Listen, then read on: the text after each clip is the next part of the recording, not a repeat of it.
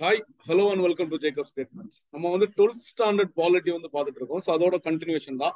So second lesson அதாவது state legislature அதாவது legislature பார்த்துட்டு இருக்கோம் முன்னாடி வந்து பார்த்தது பார்த்தீங்கன்னா கான்ஸ்டியூஷன் அப்படின்றத பார்த்தோம். ஸோ அடுத்தது வந்து பார்த்தீங்கன்னா லெஜிஸ்லேச்சர் ஸோ சட்டமன்றங்கள்.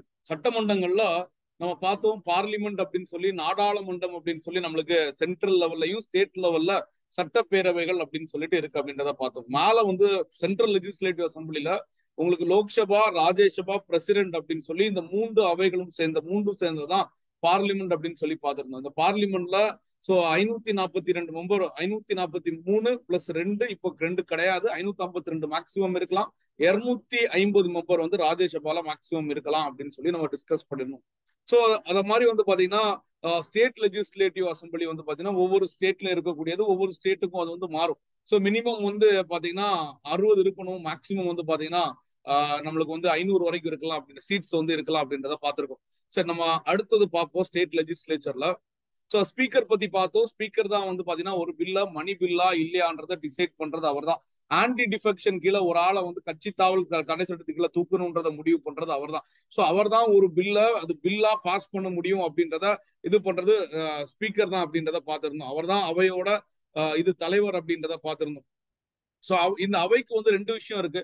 லெஜிஸ்லேட்டிவ் பினான்சியல் அப்படின்னு சொல்லி பார்த்திருந்தோம். அந்த மாதிரி யூனியன் பார்லிமெண்ட்ல செஷன்ஸ் வந்து பாத்தீங்கன்னா budget session monsoon session winter session அப்படின்னு சொல்லி எல்லாம் பார்த்திருந்தோம். சரிங்களா? ஸோ இதுல வந்து பாத்தீங்கன்னா லெஜிஸ்லேட்டிவ் அசம்பிளி அவங்களோட ஃபங்க்ஷன்ஸ் ஸோ உமன் ரிசர்வேஷன் பில்லை பத்தி பார்த்துருந்தோம். அது வந்து கொஞ்சம் டிலே ஆயிட்டே இருக்கு. இன்னும் வரை அது வரவே இல்லை.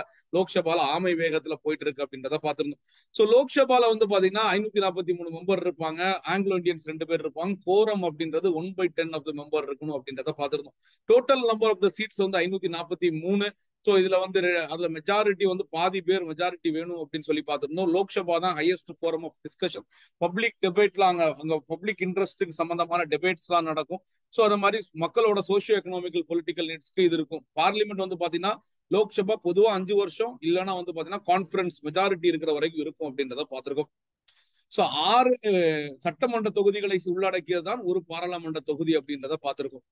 ஸோ அதை மாதிரி வந்து பாத்தீங்கன்னா ஸ்பீக்கர் ஸ்பீக்கர் வந்து பாத்தீங்கன்னா அவர் லோக்சபா மெம்பர்ஸ்ல இருந்து எலெக்ட் பண்ணப்படுவாரு. ஸ்பீக்கருக்கு வந்து ஸ்பெஷல் ப்ரிவிலேஜஸ் இருக்கும். அவருக்கு மெம்பர் ஆஃப் த ஹவுசஸ்க்கு என்னென்ன அவங்க மேல இருக்கக்கூடிய நடத்தைகள் சம்பந்தமா எல்லா முடிவுகளும் எடுக்கக்கூடியது வந்து பாத்தீங்கன்னா ஸ்பீக்கர் தான் அப்படின்றத பாக்குறோம். ஸோ இவர் தான் administrative head of the parliament secretariat அது மாதிரி ஸ்பீக்கர் வந்து பாத்தீங்கன்னா எல்லா மெம்பர்ஸை யார் கொஸ்டின் இது பண்ணணும் யார் கொஸ்டின் கேட்கணும் கொஸ்டினை வந்து திரும்ப ஆன்சர் சொல்றது கொஸ்டின் கேட்கறது எல்லாமே ஸ்பீக்கர் தான் இருக்கு. ஸ்பீக்கர் தான் வந்து பாத்தீங்கன்னா ஒரு மோஷனை கொண்டு வர்றதுக்கும் அதே மாதிரி மோஷன் தான் அப்படின்றது வந்து பாத்தீங்கன்னா இப்போ ஒரு அட்ஜோன்மெண்ட் சைன் அவை ஒத்தி வைக்கப்படுது இந்த மாதிரிப்பட்ட விஷயங்கள் சொல்றதும் இதெல்லாம் ஒரு மெம்பரை வெளியேற்றுறதும் இவருக்கு தான் பெர்மிஷன் இருக்கு அப்படின்றத பாக்குறோம். ஸ்பீக்கருக்கு வந்து நல்ல ப்ரிவிலேஜஸ் இருக்கு. அவர் வேரியஸ் கமிட்டிஸோட ஹெட்டா இருக்காரு. செலக்ட் அட்வைசரி மெம்பர்ஸ் கமிட்டி இந்த மாதிரிப்பட்ட கமிட்டிஸ்க்கு ஸோ அது மாதிரி வந்து பாத்தீங்கன்னா அவர் வந்து ஏதாவது ஒரு கொஸ்டினை வந்து ப்ரிவிலேஜ் கமிட்டிக்கு அனுப்பிச்சு விட்டு அதை எக்ஸாமின் பண்ண இன்வெஸ்டிகேட் பண்ணி ரிப்போர்ட்ஸும் கிடைக்கலாம் அப்படின்றத பார்த்துருக்கோம் ஜவஹர்லால் நேரு என்ன சொல்லியிருக்காருன்னா ஸ்பீக்கர் வந்து பார்த்தீங்கன்னா ஹவுஸோட ரெப்ரஸன்டேட்டிவ் ஹவுஸ்ங்கிறது நாட்டோட ரெப்ரஸன்டேட்டிவ் அதனால ஒரு ஒரு நல்ல திறன்மிக்க நடுநிலையான ஒருத்தர் தான் ஸ்பீக்கரை அப்பாயிண்ட் பண்ணும் அப்படின்னு சொல்லி சொல்லியிருக்கோம். ஸ்பீக்கர் வந்து ஜாயிண்ட் செஷனை வந்து அவர் தான் வந்து ப்ரெசைட் பண்ணுவார் அப்படின்றத பார்த்துருக்கோம் ஸோ அவர் தான் ஒரு பில்லை வந்து பார்த்தீங்கன்னா மணி பில்லா இல்லையான்றதை டிசைட் பண்ணுவார். அவர் தான் வந்து பார்த்தீங்கன்னா appoints the recognition of opposition leader opposition leader இவர் தான் அப்படின்றத அங்கீகரிக்கிறது இவர் தான் அப்படின்றத பாக்குறோம் ஐம்பத்தி ரெண்டாவது அமெண்ட்மெண்ட் படி ஆன்டி டிஃபெக்ஷன் லால ஏதாவது இருந்துச்சுன்னா ஸ்பீக்கர் தான் வந்து ரிமூவ் பண்ணுவார் அப்படின்றத பாக்குறோம் right so council of states Rajya Sabha ராஜ்யசபாங்கிறது நமக்கு தெரியும். இது வந்து மாநிலங்களவை. ராஜ்யசபால தான் நம்ம பார்க்கணும். So council of states houses of people இங்க வந்து இருநூத்தி ஐம்பதுக்கு மேல இருக்கக்கூடாது அப்படின்றத பாக்குறோம் இருநூத்தி ஐம்பதுக்கு மேல இருக்கக்கூடாது. ஸோ இங்க வந்து ஐநூத்தி ஐம்பத்தி ரெண்டுக்கு மேல இருக்கக்கூடாது. இதான் வந்து மேக்சிமமா இருக்கக்கூடியது. இருநூத்தி முப்பத்தி எட்டு ஸ்டேட்ஸ் அண்ட் யூனியன் டெரிட்டரிஸ்ல இருந்து வர்றது பனிரெண்டு பேர் வந்து நாமினேட் பண்ணி வர்றது அப்படின்றத பாக்குறோம் ஸோ ராஜ்யசபா அப்படின்றது நம்ம எல்லாருக்குமே தெரியும். அது வந்து மேலவை அப்பர் ஹவுஸ் தான் ராஜ்யசபா. லோவர் ஹவுஸ் அப்படின்னு சொல்லும்போது லோக்சபா அப்படின்றத பாக்குறோம் ஸோ மேலவை அப்படின்னு சொல்லும்போது ராஜ்யசபா. ராஜ்யசபாவை மாநிலங்கள் அவை அப்படின்னு சொல்லி சொல்றோம். கவுன்சில் ஆஃப் ஸ்டேட்ஸ் ஸோ மாநிலங்கள்னா மாநிலங்களோட பிரதிநிதி தான் ராஜ்யசபா அப்படின்றத பாக்குறோம் இது இது வந்து மொத்தமா இருநூத்தி ஐம்பது மெம்பர் இருக்காங்க. சோ அதுல வந்து பாத்தீங்கன்னா இருநூத்தி முப்பத்தி எட்டு வந்து பாத்தீங்கன்னா ஸ்டேட்ஸ்ல இருந்தும் யூனியன் டெரிட்டரிஸ்ல இருந்து வராங்க பனிரெண்டு பேரை ராஜ்யசபால இருந்து யார் நியமனம் செய்வார் அப்படின்னு பாத்தீங்கன்னா president president nominates twelve members to the Rajya Sabha யார் யாருன்னா அறிவியல் கலை விளையாட்டு லிட்ரேச்சர் இந்த மாதிரிப்பட்ட இதுல இலக்கியம் அறிவியல் கலை மாதிரிப்பட்ட விஷயங்கள்ல இருக்கக்கூடிய சிறந்து விளங்கக்கூடியவரை யார் நாமினேட் பண்ணுவார்னா பிரசிடென்ட் நாமினேட் பண்ணுவாங்க. The council of states Rajya Sabha வந்து பாத்தீங்கன்னா second chamber of the parliament of India அதை வந்து இரண்டாவது சாம்பர் அப்படின்னு சொல்றோம். செகண்ட் சாம்பர் பாராளுமன்றத்தோட ரெண்டாவது சாம்பர் அப்படின்னு சொல்றோம். Rajya Sabha is an institution to protect the right and interest of the state like senate in USA so அதாவது இது வந்து யாரோட உரிமைகளை ராஜ்யசபா பாதுகாக்குது அப்படின்னா மாநிலங்களின் உரிமைகளை. ஏன்னா நம்ம ராஜ்யசபா ஏற்கனவே நம்ம பார்த்திருக்கோம். Rajya Sabha is a council of states அது மாநிலங்களவை. அது மாநிலங்களின் உரிமைகளை பாதுகாக்கிறதா இருக்கு அப்படின்றத பாக்குறோம். யூஎஸ்ல இருக்கக்கூடிய செனட் மாதிரி செனட் வந்து பாத்தீங்கன்னா இட்ஸ் ரெப்ரசன்டேஷன் ஆஃப் ஸ்டேட்ஸ் மாதிரி சோ இது வந்து நம்மளோட எப்போ கான்ஸ்டிடியூட் பண்ணப்படுதுன்னா தேர்ட் ஏப்ரல் நைன்டீன் பிப்டி டூல ராஜ்யசபா வந்து கான்ஸ்டிடியூட் பண்ணப்படுது அப்படின்றத பாக்குறோம். இந்த மெம்பர் ஆஃப் ராஜ்யசபா வந்து யாரால எலெக்ட் பண்ணப்படுவாங்க அப்படின்னா ஸ்டேட்ல இருக்கக்கூடிய எம்எல்ஏஸால தான் எலெக்ட் பண்ணப்படுவாங்க. ஏன்னா இது மாநிலங்களவை மாநிலங்களவையோட உறுப்பினர்கள் யாரால நியமிக்கப்படுவாங்க அப்படின்னா மாநிலங்கள்ல இருக்கக்கூடிய எம்எல்ஏஸ் தான் இவங்கள தேர்ந்தெடுப்பார்கள் அப்படின்றத பாக்குறோம். இன்டைரக்ட் எலெக்ஷன் அப்படின்றத பாக்குறோம். Apart from the member of the states பனிரெண்டு அறிஞர்கள் distinguished members from the literature art science sports social service commerce இந்த மாதிரி போட்ட துறைகள்ல சிறந்து விளங்குறவங்கள பனிரெண்டு பேரை யார் நாமினேட் பண்ணுவாங்க அப்படின்னா ஜனாதிபதி குடியரசுத் தலைவர் வந்து நாமினேட் பண்ணுவார். ராஜ்யசபால காம்போசிஷன் எப்படி இருக்கும்? இருநூத்தி முப்பத்தி எட்டு நபர்கள் வந்து பாத்தீங்கன்னா சோ இங்க மாநிலங்கள்ல இருக்கக்கூடிய மாநிலங்கள் மற்றும் யூனிய பிரதேசங்கள். யூனிய பிரதேசங்கள்னா எங்க எங்க சட்டப்பேரவைகள் இருக்கோ பாண்டிச்சேரியில இருக்கு டெல்லியில இருக்கு ஜம்மு காஷ்மீர்ல இருக்கு. சோ இங்க இருந்து இருக்கக்கூடிய மக்கள் மட்டும்தான் எங்க வருவாங்க அப்படின்னா இங்க எலெக்ட் பண்ண வருவாங்க. ராஜ்யசபாவுக்கு எலெக்ட் பண்ணுவாங்க. ஏன்னா அங்கதான் எம்எல்ஏஸ் இருப்பாங்க. ராஜ்யசபா மெம்பர்ஸ் செலக்ட் பண்றது யாரு? எம்எல்ஏஸ் இருநூத்தி முப்பத்தி எட்டு பேரை எம்எல்ஏஸும் பனிரெண்டு பேரை யார் அப்படின்னா பனிரெண்டு பேரை பிரசிடென்ட் வந்து நாமினேட் பண்ணுவாரு. சயின்சஸ் ஆர்ட்ஸ் லிட்ரேச்சர் இந்த மாதிரிப்பட்ட இதுல இடத்துல இருக்கக்கூடிய அன்லைக் ஹவுஸ் ஆஃப் பீப்புள் மக்களவை மாதிரி council of people states is subject to dissolution so மக்களவை அப்படின்றது லோக்சபாங்கிறது அஞ்சு வருஷத்துக்கு ஒரு வாட்டி கலைக்கப்படும். ஆட்சி முடியுது. இப்ப ரெண்டாயிரத்தி இருபத்தி நாலுல ரெண்டாயிரத்தி பத்தொன்பதுல தொடங்கின ஆட்சி முடியுது மோடியோட கவர்மெண்ட் கலைக்கப்படும். திரும்ப ஜெயிச்சு வந்து புதுசாதான் உருவாக்கப்படும். எல்லாரும் புதுசா எம்பியா வந்து பதவி ஏற்பாங்க. எல்லாருமே. யார் யார் இருக்காங்களோ எல்லாரோட பதவி காலம் முடியுது. இல்லைன்னா இப்பவே மெஜாரிட்டி இல்லைன்னா இப்பவே கலைக்கப்படும். புரியுதா? சொன்னா இந்த மக்களவை அப்படின்றது ஒரு நிரந்தரம் இல்லாத அதாவது ஒரு தற்காலிக அவை தான் மக்களவை. ஐந்து வருடத்திற்கு ஒரு வாட்டி கட்டாயமா கலைக்கப்படும். மொத்தமா கலைக்கப்படும். ஆனா ராஜ்யசபா அப்படி கிடையாது. இங்க வந்து ஒன் பை அதாவது one by third of the person one by third of the member வந்து பாத்தீங்கன்னா ரெண்டு வருஷத்துக்கு ஒரு வாட்டி காலி பண்ணிட்டு போவாங்க. லோக்சபாவுக்கு அஞ்சு வருஷம் டெனியூர் இல்லையா? ராஜ்யசபாவுக்கு ஆறு வருஷம் டெனியூர் அதாவது லோக்சபாவுக்கு அஞ்சு வருஷம் டெனியூர் ராஜ்யசபாவுக்கு ஆறு வருஷம் டெனியூர் அஞ்சு வருஷம் முடிஞ்சா மொத்தமா காலி பண்ணிட்டு போகணும். இப்போ இங்க ஒரு முன்னூறு மெம்பர் இருக்காங்கன்னு வச்சுக்கோங்க. ராஜ்யசபால for example will take three hundred members இருநூத்தம்பது member தான் நம்மளுக்கு புரியறதுக்கு வேண்டி முந்நூறு மெம்பர்னு வச்சிருக்கேன். இந்த முன்னூறு மெம்பரை நான் நூறு நூறு நூறா பிரிச்சிருக்கேன். ஒவ்வொருத்தருக்கும் ஆறு வருஷம் டென்யூரா இப்போ இவங்க ஆறு வருஷம் இது வந்து இவங்களுக்கு வந்து ஆறு வருஷம் ரெண்டு வருஷத்துக்கு ஒரு வாட்டி இவங்கள இவங்க வெளியே போயிடுறாங்க. இவங்க வெளியே போனதுக்கு அப்புறம் ஒருத்தவங்கள புதுசா உள்ள கொண்டு வராங்க நூறு பேரை. சரியா? இல்லைன்னா இவங்க வெளியே போறோம்னு வச்சுக்கோங்க. இவங்களை இவங்க ரெண்டு வருஷம் முடிஞ்சோடனே இவங்க வெளியே போறாங்க. ஒரு நூறு பேரை திரும்ப புதுசா கொண்டு வராங்க. அடுத்த ரெண்டு வருஷம் கழிப்பு இவங்க வெளியே போவாங்க. ரெண்டு வருஷத்துக்கு ஒரு வாட்டி மூணுல ஒரு பங்கான நபர்கள் வெளியே போயிட்டே இருப்பாங்க. ஆனா மூணுல ரெண்டு பங்கான நபர்கள் உள்ள இருந்துட்டே தான் இருப்பாங்க. அவை மொத்தமாக கலைக்கப்படாது. ஒரு பொழுதும் அவை மொத்தமாக கலைக்கப்படாது. நல்லா புரிஞ்சுக்கோங்க. சோ லோக்சபால அவை மொத்தமா கலைக்கப்பட்டுரும். ஆனா ராஜ்யசபால அவை மொத்தமா கலைக்கவே முடியாது. ஏன்னா one by two of the members one by two of the members வந்து பாத்தீங்கன்னா sorry one by three of the members வந்து அவங்க வந்து ரிட்டையர்ட் இல்லைன்னா அவங்களோட கதை பதவி காலம் ஒரு ரெண்டு வருடத்துக்கு ஒரு வாட்டி முடிஞ்சுட்டே இருக்கு. இவங்களோட பதவி ராஜ்யசபால இருக்கக்கூடியவங்க அப்படின்னா முந்நூறு பேர் இருக்காங்கன்னா நூறு பேர் வெளியே போனா இருநூறு பேர் உள்ள இருப்பாங்க. அடுத்து நூறு பேர் வருவாங்க. ஸோ அப்படின்னா ஒவ்வொருத்தருக்கும் ஆறு வருஷம் டென்யூர் இருக்கும் இல்லையா? இது முதல் வாட்டி என்ன கொடுத்தாங்க அப்படின்னா முதல் வாட்டி என்ன பண்ணிருக்கணும் அப்படின்ற ஒரு கேள்வி நமக்கு வரணும். முதல் வாட்டி ஒருத்தருக்கு ரெண்டு ஒரு ஒரு ஒன் பை தேர்டுக்கு ரெண்டு வருஷம். இன்னொருத்தவங்களுக்கு ஆறு வருஷம் ஒன் பை தேர்டுக்கு இன்னொருத்தவங்களுக்கு நாலு வருஷம் கொடுத்துட்டாங்க. ரெண்டு வருஷம் முடிஞ்சோன்னு இவங்க வெளியே போயிடுறாங்க. இவங்க நாலு வருஷம் முடிஞ்சோன்னு வெளியே போயிடுறான் இவங்க ஆறு வருஷம் முடிஞ்சோன்னு வெளியே போயிடுறான் அடுத்து ஒரு நூறு பேர் வரான். அடுத்து ஒரு நூறு பேர் வரான். அடுத்து ஒரு நூறு பேர் வரான். இவன் வெளியே போறான் அவன் உள்ள வரான். அப்ப ரெண்டு முந்நூறு பேர் இருந்தானா இருநூறு பேர் உள்ள இருந்துட்டே தான் இருப்பான் ஸோ அப்படின்னா that is called a permanent house நிரந்தரமான அவை. மாநிலங்களின் பிரதிநிதித்துவம் இருக்கக்கூடியது நிரந்தரமான அவை. அதே இது லோவர் ஹவுஸ் அப்படின்னு சொல்லக்கூடிய லோக்சபா வந்து பாத்தீங்கன்னா சோ அது வந்து டெம்பரரி ஹவுஸ் ஐந்து வருடத்திற்கு ஒரு வாட்டியோ இல்லனா அவங்களோட ஆட்சி மெஜாரிட்டி இல்லைனாலும் அந்த அவை கலைக்கப்படும் அப்படின்றத பாக்குறோம் சரிங்களா? The one by third of the members retire every second year ரெண்டு வருடத்துக்கு ஒரு வாட்டி வெளியே போவாங்க. The term of the individual member வந்து பாத்தீங்கன்னா ஆறு வருடம். இங்க வந்து ஐந்து வருடம் சொல்லலாம். இல்லைன்னா அதோட கீழே கூட இருக்கலாம். கம்மியா கூட இருக்கலாம். அவங்களோட மெஜாரிட்டிலாம் எப்போ வேணாலும் கலைக்கப்படலாம். ஆனா ராஜ்யசபாவுக்கு டென்யூர் வந்து பாத்தீங்கன்னா ஆறு வருடம். The member of the council of state are elected by their யாரால elect பண்ணப்படுவாங்க? Representative state legislative members so அதாவது எம்எல்ஏஸ்னால தான் அவங்க எலெக்ட் பண்ணப்படுவாங்க. ஸோ இவங்களுக்கு சிங்கிள் டிரான்ஸ்பரபிள் மோட் ஒற்றை முறையில ப்ரொபோஷனல் விகிதாச்சார அடிப்படையில இவங்களுக்கு ஓட்டிங் நடக்கும். ராஜ்யசபாவோட function who is the chairman of Rajya Sabha அப்படின்னா வைஸ் பிரசிடென்ட் துணை குடியரசு தலைவர் தான் இங்க தலைவர்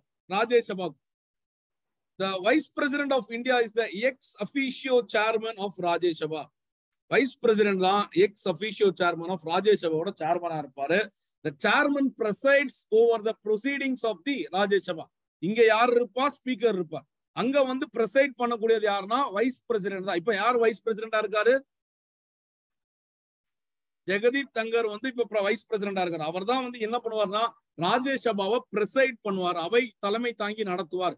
Proceedings and regulate the Rajya Sabha ராஜ்யசபால எல்லா பில்லும் இன்ட்ரோடியூஸ் பண்ணலாம். But money bill can be only introduced in Lok Sabha பண மசோதா மக்களவையில் மட்டும்தான் அறிமுகப்படுத்த முடியும் அறிமுகப்படுத்தப்படும். சோ மீதி எல்லா மசோதாவும் ராஜ்யசபால கொண்டு வர முடியும். Except money bill all other bill can be introduced in the Rajya Sabha so பண மசோதா வந்து மக்களவையில் மட்டும்தான் அறிமுகப்படுத்த முடியும். சோ ஆனா மீதி எல்லா மசோதாவும் ராஜ்யசபால அறிமுகப்படுத்த முடியும். புரியுதா? நான் சொல்றது புரியுதா?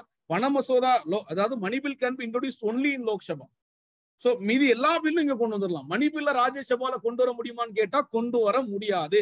Money bill can be only introduced in Lok Sabha. Who decides whether a bill is money bill or not அப்படின்னா the speaker decides whether a bill is money bill or not right except money bill finance bill all other bill will be place before the Rajya for discussion questions, mo motions and resolution under the rules of procedure and conduct of business. இது எல்லா மசோதாவும் இவங்களுக்கு முன்னாடி வச்சு discuss பண்ணி கேள்வி கேட்டு ஓட்டு எடுத்து தான் போக முடியும். சரிங்களா? த ஃபங்க்ஷன்ஸ் ஆஃப் ராஜ்யசபாவை திரும்பவும் நம்ம legislative financial deliberative and federal அப்படின்னு சொல்லி பிரிக்கிறோம். லெஜிஸ்லேட்டிவ் அப்படின்னா சட்டம் கொண்டு வர்றதுக்கு ஒண்ணு. பினான்சியல் அப்படின்னா நிதி. ஸோ டெலபரேட்டிவ் அப்படின்னா அதை பிரிச்சு கொடுக்கறது. ஃபெடரல் அப்படின்னா அந்த கூட்டாட்சி முறை தத்துவத்திற்கு அவங்க என்னென்ன பண்றாங்க? லெஜிஸ்லேஷன் வந்து பாத்தீங்கன்னா இம்பார்ட்டன்ட் பிசினஸ் ஆஃப் ராஜ்யசபா அவங்களோட சட்டம் கொண்டு வரது முக்கியமான விஷயமா இருக்கு. As indeed of parliament and in the sphere Rajya Sabha வந்து பாத்தீங்கன்னா சட்டம் கொண்டு வர்றதுல லோக்சபா மாதிரி ஈக்குவல் ஸ்பேஸ் இருக்கு. சட்டம் கொண்டு வரதுக்கு லோக்சபா என்னென்ன பண்ண முடியுமோ அதே மாதிரி ராஜ்யசபாவுக்கு ஈக்குவல் பவர் இருக்கு. ஸோ லோக்சபா ஒரு அமெண்ட்மெண்ட் பில்ல கொண்டு வர முடியும்னா ராஜ்யசபாவுக்கு அந்த பவர் இருக்கு ரைட்டா ஸோ இங்க எல்லா ராஜ்யசபா மாதிரியே லோக்சபா மாதிரியே ராஜ்யசபா என்ற ஆல்மோஸ்ட் ஈக்குவல் பவர் இந்த லோக்சபா ஈக்குவல் அப்படியே லோக்சபாவுக்கு சட்டம் கொண்டு வரதுக்கு என்ன அதிகாரம் இருக்கோ ராஜ்யசபாவுக்கும் அதே அதிகாரம் இருக்கு. இந்த யூஎஸ்ஏ த ரெப்ரசன்டேட்டிவ் இந்த state council is called senate where the state has equal representation irrespective of the size of the population இங்க நம்ம ஊர்ல அப்படி கிடையாது. யூஎஸ்ஏல செனட் அப்படின்றது கவுன்சில் ஆஃப் ஸ்டேட் அதாவது மாகாணங்களின் பிரதிநிதித்துவம்.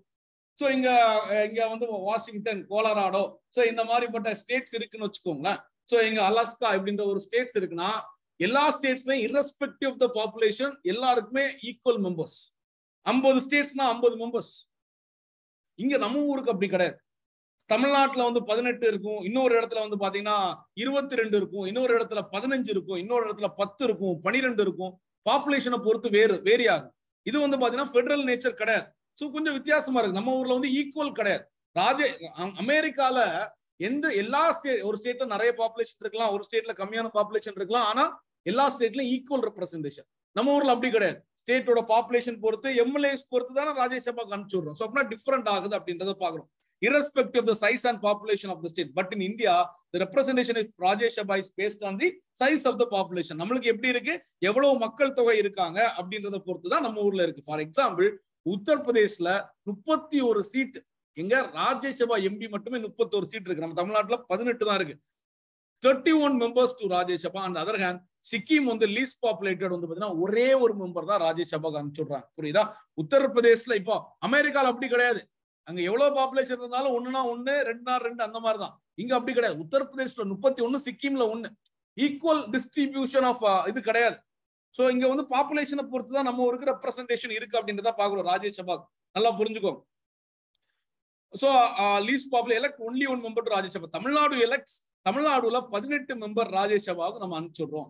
The number of members elected from each state has been fixed by the fourth schedule of the constitution நாலாவது அட்டவணை என்ன சொல்லுது? ரெப்ரசன்டேஷன் ஆஃப் ரெப்ரசன்டேஷன் அங்க ராஜ Rajya Sabha from states and union territories representation to Rajya Sabha from states and union territories மாநிலங்களவைக்கு மாநிலங்கள் மற்றும் யூனிய பிரதேசங்கள்ல இருந்து எத்தனை இது வந்து போவாங்க? எவ்வளவு சீட்ஸ் இருக்கும் அப்படின்றத எத்தனாவது அட்டவணையில சொல்லிருக்குன்னா நாலாவது அட்டவணையில சொல்லிருக்கு ஃபோர்த் ஷெடியூல் உங்களுக்கு ஆல்ரெடி தெரியும். So ராஜ்யசபால representation of seats in Rajya Sabha from states and union territories நாலாவது அட்டவணையில சொல்லியிருக்கு. எந்த மாநிலத்துக்கு எவ்வளவு சீட் அப்படின்றது எங்க சொல்லியிருக்கு? நாலாவது அட்டவணையில சொல்லியிருக்கு. சரிங்களா? அட்டவணையெல்லாம் உங்களுக்கு தெரிஞ்சிருக்கணும். Members of Rajya Sabha are elected for terms of six years ஆறு வருடத்திற்கு தான் ராஜ்யசபாவோட பதவி காலம் இருக்கு அப்படின்றத பாக்குறோம். And they can be reelected அவங்கள திரும்ப வந்து அவங்க எலெக்ட் பண்ண முடியுமானா? ஆமா. அவங்களால இப்போ ஒருத்தர் இப்போ சச்சின் டெண்டுல்கர் வந்து பாத்தீங்கன்னா ஆறு ஆறு வருஷத்துக்கு ஆறு வருஷத்துக்கு வந்து அவர் வந்து அந்த பதவி கொடுக்குறாங்க. திரும்ப அவரை வந்து கொண்டு வர முடியும்னா அவரை கொண்டு வரலாம். சோ இப்ப கனிமொழி எம்பி வந்து பாத்தீங்கன்னா ராஜ்யசபாவோட எம்பியா இருக்காங்க. அவங்கள திரும்ப வந்து கொடுக்கலாம்னா கொடுக்கலாம். சோ யார் எலெக்ட் பண்ணும் ஸ்டேட் தானே எலெக்ட் பண்ணும் லெஜிஸ்ல எலெக்ஷன் வச்சு தான் திரும்ப எலெக்ட் பண்ணும் ஒரு வாட்டி தான் ராஜ்யசபா எம்பியா இருக்க முடியும்னு கிடையவே கிடையாது. எத்தனை வாட்டி வேணாலும் இருக்கலாம். காலம் ஃபுல்லாவும் ராஜ்யசபா எம்பியா இருக்கணும்னா கூட இருக்கலாம். ஸோ ஆனா எலெக்ட் பண்ணி கொண்டு வரணும். ராஜ்யசபா எம்பியா இருக்கிறது. சோ இதுல ராஜ்யசபால ஆறு வருடங்கள் அப்படின்னு சொல்லி பாக்குறோம் சிக்ஸ் இயர்ஸ் டென்யூர் வந்து அவங்களுக்கு கொடுக்குறோம். சோ அவங்க ரீ எலெக்ட் பண்ணிக்கலாம். ராஜ்யசபா வந்து பாத்தீங்கன்னா என்ன ஹவுஸ்னு சொல்றோம்? பெர்மனன்ட் ஹவுஸ்னு சொல்றோம். லோக்சபாவை லோவர் ஹவுஸ் அப்படின்னு சொல்றோம். டெம்பரரி ஹவுஸ்னு சொல்றோம். சோ ஏன்னா அவங்களுக்கு ஐந்து வருடத்தோட பதவி காலம் முடிஞ்சிடும் ஆனா ராஜ்யசபாவுக்கு அப்படி கிடையாது. அவங்களோட பதவி காலம் ஆறு வருடங்கள் இருக்கும் அப்படின்றத பாக்குறோம் அதுவும் one by third of the members தான் வெளியே போவாங்க. Two by third of the members உள்ளதான் இருப்பாங்க அப்படின்றத பாக்குறோம் சரிங்களா? சோ இங்க வந்து some of the never gets fully dissolve ஏன்னா வந்து ஃபுல்லா டிசால்வ் ஆகாது. Some of the important privileges and immunities are given to the Rajya Sabha as so ராஜ்யசபால இருக்கக்கூடிய மெம்பர்ஸ்க்கு என்னென்ன இம்யூனிட்டிஸ் என்னென்ன ப்ரிவிலேஜஸ் இருக்கு அப்படின்றத பாக்குறோம்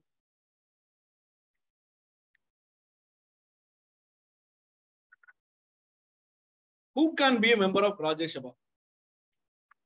லோக்சபால இருக்குன்னா இருபத்தஞ்சு வயசு இருந்தா போதும்.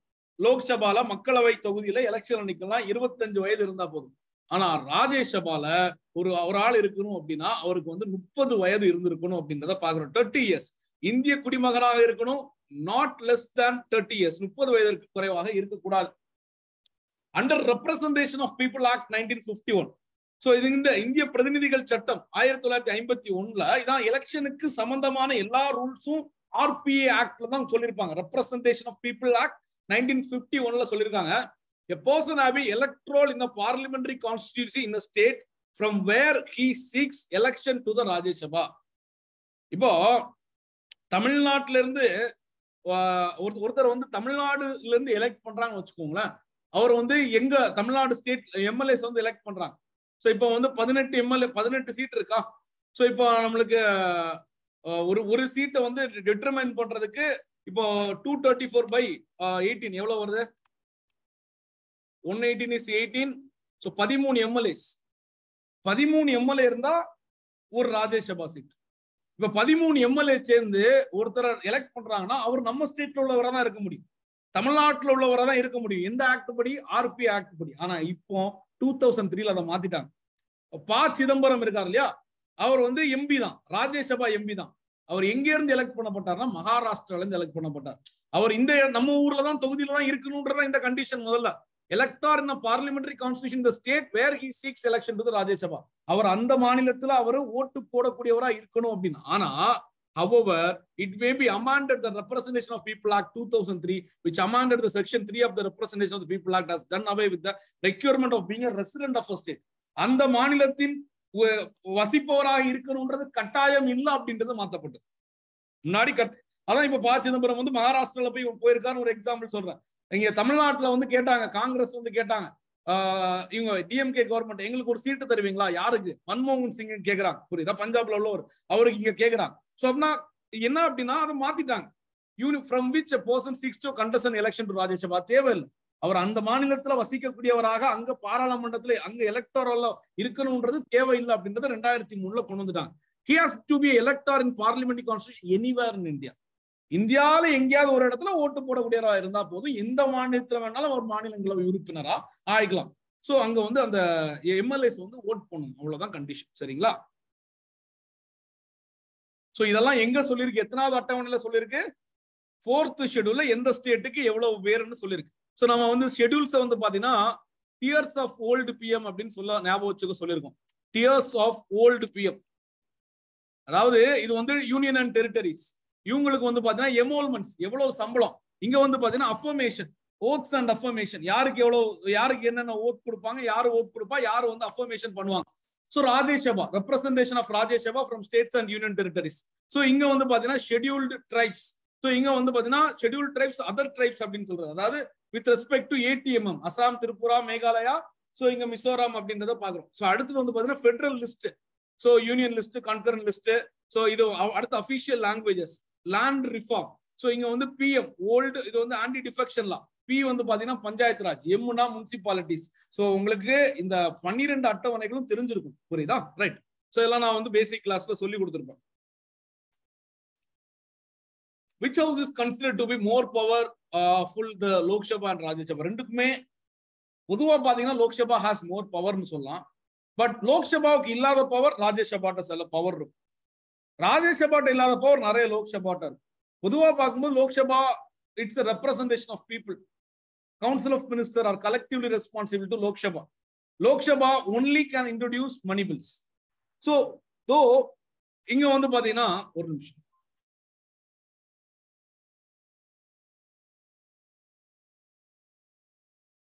இங்க வந்து student should think individually for few minutes and then discuss and compare the responses with the partner before sharing the entire class preparing participate full effectively and whole class discussion சரி power and privileges of member of parliament இது வந்து காமனா எம்பியா இருந்தா அவங்களுக்கு என்னென்ன இருக்கு எம்பியா இருந்தா அவங்களுக்கு freedom of speech in parliament அவங்க பாராளுமன்றத்துல அவங்க பேசுறதுக்காக வேண்டி அவங்கள தூக்கி ஜெயில போடுறதுக்கோ எதுவுமே பண்ண முடியாது they have their immunity of a member from any proceedings in court in respect to anything said or vote in given him in the parliament or any committee thereof. அவங்க பாராளுமன்றத்துல ஏதாவது சொன்னதுக்காக வேண்டி பாராளுமன்றத்துல ஏதாவது ஓட்டு போட்டதுக்காக வேண்டி இல்லைன்னா ஏதாவது கமிட்டியில் ஏதாவது ஓட்டு போட்டதுக்காக வேண்டி அவங்க எந்த கோர்ட்லயுமே அவங்க மேல ஒரு ப்ரொசீடிங்ஸ் எடுக்கப்பட முடியாது. அவங்களுக்கு அதுல இருந்து பாதுகாப்பு இருக்கு. அவங்க மேல எந்த வழக்கும் போடாத அளவுக்கு அவங்க பாராளுமன்றத்துல அவங்க செஞ்சதுக்கு அவங்க ஓட்டு போட்டதுக்கு அவங்க பேசுனதுக்கு எதிராக அவங்க மேல எந்த குற்ற எந்த வழக்கும் பதிவு செய்ய முடியாது அப்படின்றத முதல்ல. Freedom of speech in parliament முதல்ல அவங்களுக்கு பேச்சுரிமை பாராளுமன்றத்துல அவங்க பேசலாம். And also they have the immunity of a member from any proceedings in any court so எந்த கோர்ட்ல வேணாலும் அவங்க வந்து அவங்களுக்கு அவங்க மேல இம்யூனிட்டி இருக்கு. அவங்க மேல அவங்க ஏதாவது ஒரு விஷயம் பார்லிமெண்ட்ல பேசுனதுக்காக வேண்டியோ இல்லைன்னா ஓட்டு போட்டதுக்காக வேண்டியோ அவங்கள அரெஸ்ட் பண்ண முடியாது. இல்லைன்னா எந்த லீகல் ப்ரொசீடிங்ஸும் எடுக்க முடியாது. In any court in respect to anything said or any vote அவங்க என்ன பேசுனதுக்காக வேண்டியோ இல்லைன்னா ஏதாவது ஓட்டு போட்டதுக்காக வேண்டிய in parliament or any committee thereof immunity to a person from proceeding in any court திரும்பவும் அடுத்தது இம்யூனிட்டி அவங்களுக்கு பாதுகாப்பு எந்த கோர்ட்லனாலும் in respective of the publication by the authority publication by under the authority of either house of the parliament of any report paper votes or proceedings so இப்போ ஏதாவது ஒரு இடத்துல so அவங்களோட ப்ரொசி அவங்களோட பார்லிமெண்ட் ஹவுஸ்ல ஏதாவது ஒரு இடத்துல ஒரு பப்ளிகேஷன் பண்றாங்க ஒரு ரிப்போர்ட்லோ பார்லிமெண்ட்ல ஒரு ரிப்போர்ட் போடுறாங்க இல்லையா ரிப்போர்ட்டோ இல்லைன்னா பேப்பரோ ஓட்ஸோ ப்ரொசீடிங்ஸோ ஸோ அதுக்கு மேலே அவங்க மேல வழக்கு எடுக்க முடியாது. அதே மாதிரி நியூஸ் பேப்பர்ல வரக்கூடிய விஷயங்களுக்காக வேண்டி அவங்க மேல வழக்குகள் எடுக்க முடியாது. சரிங்களா? அடுத்தது ப்ரொஹிபிஷன் அந்த court to enquire in the proceedings of the parliament பாராளுமன்றத்துல அவை நிகழ்வுகளை வந்து கேள்வி கேட்க முடியாது. யாரு கேள்வி கேட்க முடியாது? கோர்ட் வந்து கேள்வி கேட்க முடியாது அப்படின்றத பாக்குறோம் சோ அடுத்தது immunity to a person from proceedings in any court respect of the publication in newspaper of a substantially true report of any proceedings of either house of the parliament unless the publication is true have been made with a malice so ஏதாவது ஒரு இதோட இந்த ஒரு பர்சனுக்கு வந்து பாத்தீங்கன்னா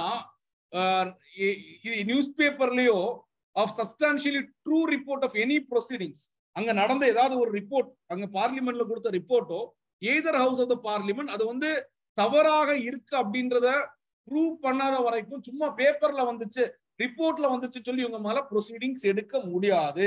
அது தவறுன்றத prove பண்ணா மட்டும்தான் அவங்க மேல கோர்ட்ல வந்து கேஸ் எடுக்க முடியும். அவங்களுக்கு பாதுகாப்பு இருக்கு. அதாவது பாராளுமன்றத்துல அவங்க பேசுறதுக்கு அவங்களுக்கு பாதுகாப்பு இருக்கு. They have their right to freedom of speech and they have the immunity to against arrest or any proceedings in the court for their actions இந்த பார்லிமெண்ட் ஆர் எனி அதர் ரிப்போர்ட்ஸா இருந்தாலும் அவங்களுக்கு அது வந்து பாதுகாப்பு இருக்கு.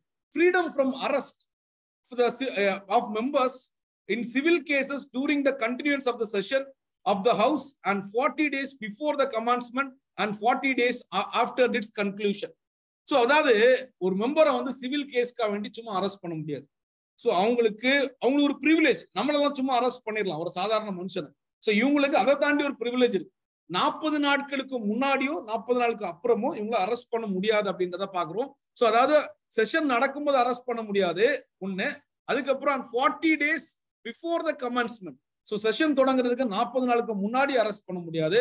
And forty days after its conclusion session முடிஞ்சு நாற்பது நாள் கழிச்சும் இவங்களை அரெஸ்ட் பண்ண முடியாது. என்ஜாய் எதுக்கு? Civil cases civil cases correct exemption of a member from service of legal process and arrest with presidents of the house so அவங்களுக்கு வந்து பாத்தீங்கன்னா ஸோ அவங்களோட ஹவுஸ்ல நடக்கக்கூடிய விஷயத்துக்காக வேண்டி அவங்களுக்கு வந்து அரெஸ்ட்லாம் பண்ண முடியாது அப்படின்றத பாக்குறோம். So they enjoy certain immunities news பேப்பர்ல வர்றதுக்காக வேண்டியோ நியூஸ் பேப்பர்ல வர நியூஸ் வச்சோ ரிப்போர்ட்ல வரதை வச்சோ பார்லிமெண்ட்ல நடக்கூடிய ப்ரொசீடிங்ஸ் வச்சோ எந்த ஒரு விஷயத்தையும் கோர்ட்லயோ கேஸோ எடுக்க முடியாது அப்படின்றத நம்ம பார்த்திருக்கோம். அதுதான் வந்து பாத்தீங்கன்னா இவங்களோட ப்ரிவிலேஜஸ் இது வந்து யாருக்கு காமன் அப்படின்னா both the MPs of Lok Sabha and Rajya Sabha எம்பிஸ்க்கு காமனான ஒரு ப்ரிவிலேஜஸ் அப்படின்றத பாக்குறோம் right Lok Sabha Rajya Sabha. Powers of the Lok Sabha கொடுத்துருக்காங்க.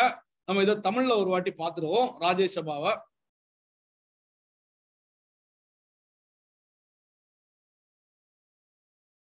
மாநிலங்களவை. மாநிலங்களவை என்று அழைக்கப்படுவது அனைத்து மாநிலங்கள் மற்றும் ஒன்றிய ஆளுகைக்கு உட்பட்ட பகுதிகளில் இருந்து வரும் இருநூத்தி முப்பத்தி எட்டு உறுப்பினர்களையும் மற்றும் குடியரசுத் தலைவரால் நியமிக்கப்பட்ட பனிரெண்டு நியமன உறுப்பினர்களையும் சேர்த்து மொத்தம் இருநூத்தி ஐம்பது உறுப்பினர்களை கொண்டது. மாநிலங்களவை அல்லது மேலவை இந்திய நாடாளுமன்றத்தின் இரண்டாவது ஆட்சி மன்றம் என்று அழைக்கப்படுகிறது. இரண்டாவது ஆட்சி மன்றம் அப்படின்னு சொல்றாங்க. அமெரிக்காவில் உள்ள ஆட்சி மன்ற குழுவை போல மாநிலங்களின் உரிமைகளை மற்றும் நலன்களை பாதுகாக்கும் ஒரு அமைப்பு மாநிலங்களவை ஆகும். இது ஆயிரத்தி தொள்ளாயிரத்தி ஐம்பத்தி இரண்டு ஏப்ரல் மூணாம் தேதி உருவாக்கப்பட்டது. மாநிலங்களவை உறுப்பினர்கள் சம்பந்தப்பட்ட மாநிலங்களின் சட்டமன்ற உறுப்பினர்களால் தேர்ந்தெடுக்கப்படுகிறார்கள். மாநிலங்களின் சட்டமன்ற உறுப்பினர்கள் எல்லாம் தேர்ந்தெடுக்கப்படுகிறாங்க. யாரால? எம்எல்ஏஸால தேர்ந்தெடுக்கப்படுறாங்க. மாநிலங்களிலிருந்து தேர்ந்தெடுக்கப்படும் உறுப்பினர்கள் தவிர இலக்கியம் அறிவியல் கலை மற்றும் சமூக சேவை போன்ற துறைகளில் இருந்து புகழ்பெற்ற பனிரெண்டு உறுப்பினர்களை பனிரெண்டு உறுப்பினர்களை இந்திய குடியரசுத் தலைவர் நியமிக்கிறார். மக்களவையை போல மாநிலங்களவை கலைக்க இயலாது. ஏன்னா one by three of the members வந்து என்ன பண்ணுவாங்க? One by three of the members தான் இரண்டு வருடத்துக்கு ஒரு வாட்டி தூக்குவாங்க. Two by three of the members will be remain இந்த Rajya Sabha so Rajya Sabha is called as permanent house ஏன்னா இங்க வந்து ரெண்டுல மூணு மூணுல ரெண்டு பகுதி மெம்பர் வந்து எப்பவுமே உள்ள இருப்பாங்க. Only one by three of the members will get resign அவங்க வந்து வெளியே போவாங்க. அப்படின்னா Rajya Sabha is call permanent house அதன் உறுப்பினர்கள் மூன்றில் ஒரு பங்கு உறுப்பினர்கள் தங்களது பதவி காலத்தை நிறைவு செய்வார்கள். ஒரு உறுப்பினரின் பதவி காலம் எவ்வளவு வருஷம்? ஆறு ஆண்டுகள். மாநிலங்களவை உறுப்பினர்கள் சம்பந்தப்பட்ட மாநிலங்கள் சட்டமன்ற உறுப்பினர்களால தேர்ந்தெடுக்கப்படுவாங்க. யார் தேர்ந்தெடுக்கப்படுவாங்கன்னா எம்எல்ஏஸ் தான் தேர்ந்தெடுக்கப்படுவாங்க. சோ இது வந்து மாற்றத்தக்க ஒற்றை வாக்கு மூலம் அதாவது சிங்கிள் டிரான்ஸ்பரபிள் ஓட் அப்படின்னு சொல்லக்கூடிய ஓட் மூலமாகவும் ப்ரொபோஷனல் ரெப்ரசன்டேஷன் விகிதாச்சார பிரதிநிதித்துவப்படியும் தேர்ந்தெடுக்கப்படுவாங்க. As same as like that of president election மாநிலங்களவையின் செயல்பாடுகள். குடியரசு துணைத் தலைவர் மாநிலங்களவையின் அலுவல் வழி அவைத் தலைவராக இருப்பார். சோ அபிஷியலா வந்து சேர்மன் அவர் தான் இருப்பாரு. அவைத்தலைவர் மாநிலங்களவை நடவடிக்கைகளுக்கு தலைமை தாங்கி முறைப்படுத்துவார். பணம் நிதி சம்பந்தமான முன்முறைவுகளை தவிர்த்து ஏனைய முன்வரைவுகள் அனைத்தும் மாநிலங்களவையில் விவாதிக்கவும் கேள்வி கேட்கவும் முன்வரைவுகள் மற்றும் தீர்மானங்கள் நிறைவேற்றவும் நடைமுறைகள் விதிக்க விதிகளின் அடிப்படையில் நடைபெறும். மக்களவையை போலே சட்டம் இயற்றுதல் மாநிலங்களவையில் மிக முக்கியமான பணிகள் உண்டு. இதில் மக்களவைக்கு இணையான அதிகாரத்தை மாநிலங்களவை பெற்றுள்ளது கொண்டுள்ளது. ஐக்கிய அமெரிக்க நாட்டில் மாநில குழுவின் உறுப்பினர் செனட்டுகள் என்று அழைக்கப்படுகிறார்கள். அங்கு மாநிலத்தின் பரப்பளவு மற்றும் மக்கள் தொகை ஆகியவற்றை பொருட்படுத்தாது. ஒவ்வொரு மாநிலத்திற்கும் சமமான அளவுல தான் பிரதிநிதித்துவம் அளிக்கப்படுகிறது. ஆனா நம்ம ஊர்ல அப்படி கிடையாது. பேஸ்ட் ஆன் பாப்புலேஷன் தான் கொடுக்கப்படுது. அங்க அங்க நூறு பேர் இருந்தாலும் லட்சம் பேர் இருந்தாலும் ஒரு சீட்னா ஒரு சீட் நமக்கு அப்படி கிடையாது. எவ்வளவு பாப்புலேஷன் இருக்கோ அதை பொறுத்து. ஃபார் எக்ஸாம்பிள் உங்க பார்த்த உத்தரப்பிரதேஷ் முப்பத்தி ஒரு சீட் இருக்கு அப்படின்றத பார்த்தோம். பிரதிநிதித்துவம் அந்தந்த மாநிலங்களின் மக்கள் தொகை அடிப்படையில் அமைந்துள்ளது. யார் மாநிலங்களில் உறுப்பினர் ஆகலாம்? குடி இந்திய குடிமனாக இருக்க வேண்டும். முப்பது வயது உட்பட்டவராக இருக்க வேண்டும். பிரதிநிதித்துவ சட்டத்தின் கீழ் மாநிலங்களுக்கு தேர்ந்தெடுக்கப்பட்ட ஒரு நபர் வந்து பாத்தீங்கன்னா அந்த மாநிலத்தை சேர்ந்த நாடாளுமன்ற தொகுதியில் ஒரு வாக்காளராக இருக்க வேண்டும். ஆனா ரெண்டாயிரத்தி மூணாவது வருஷம் படி அதன் மூலம் யார் எந்த மாநிலத்தில் இருக்கணும்லாம் தேவையில்லை. இந்தியாவில ஒரு குடிமகனா ஒரு இடத்துல பார்லிமெண்ட்ரி தொகுதியில எலக்டோரா இருக்க வேண்டும். எங்கேயாவது ஓட்டு போடக்கூடியவரா இருக்கணும். அவ்வளவுதான் அப்படின்றத பாக்குறோம் இதன் மூலம் மாநிலங்களவைக்கு போட்டியிடும் ஒருவர் எந்த மாநிலத்திலிருந்து தேர்ந்தெடுக்கப்படுகிறாரோ அந்த மாநிலத்தில் வசிப்பவராக இருக்க வேண்டும் என்ற நிபந்தனை கொல்லப்பட்டது ஆனா வந்து பின்னாடி வந்து அதை வந்து தூக்கிட்டாங்க அப்படின்றத பாக்குறோம் இதுல வந்து அதை கொடுக்கல. ஒருவர் எந்த மாநிலத்திலிருந்தும் தேர்ந்தெடுக்கப்படும் எந்த மாநிலத்திலும் தேர்ந்தெடுக்க அந்த மாநிலத்தில் வசிப்பரா இருக்க வேண்டும் என்பது விலக்கி கொள்ளப்பட்டது. அது தூக்கிட்டாங்க அப்படின்றத பாக்குறோம் சரிங்களா?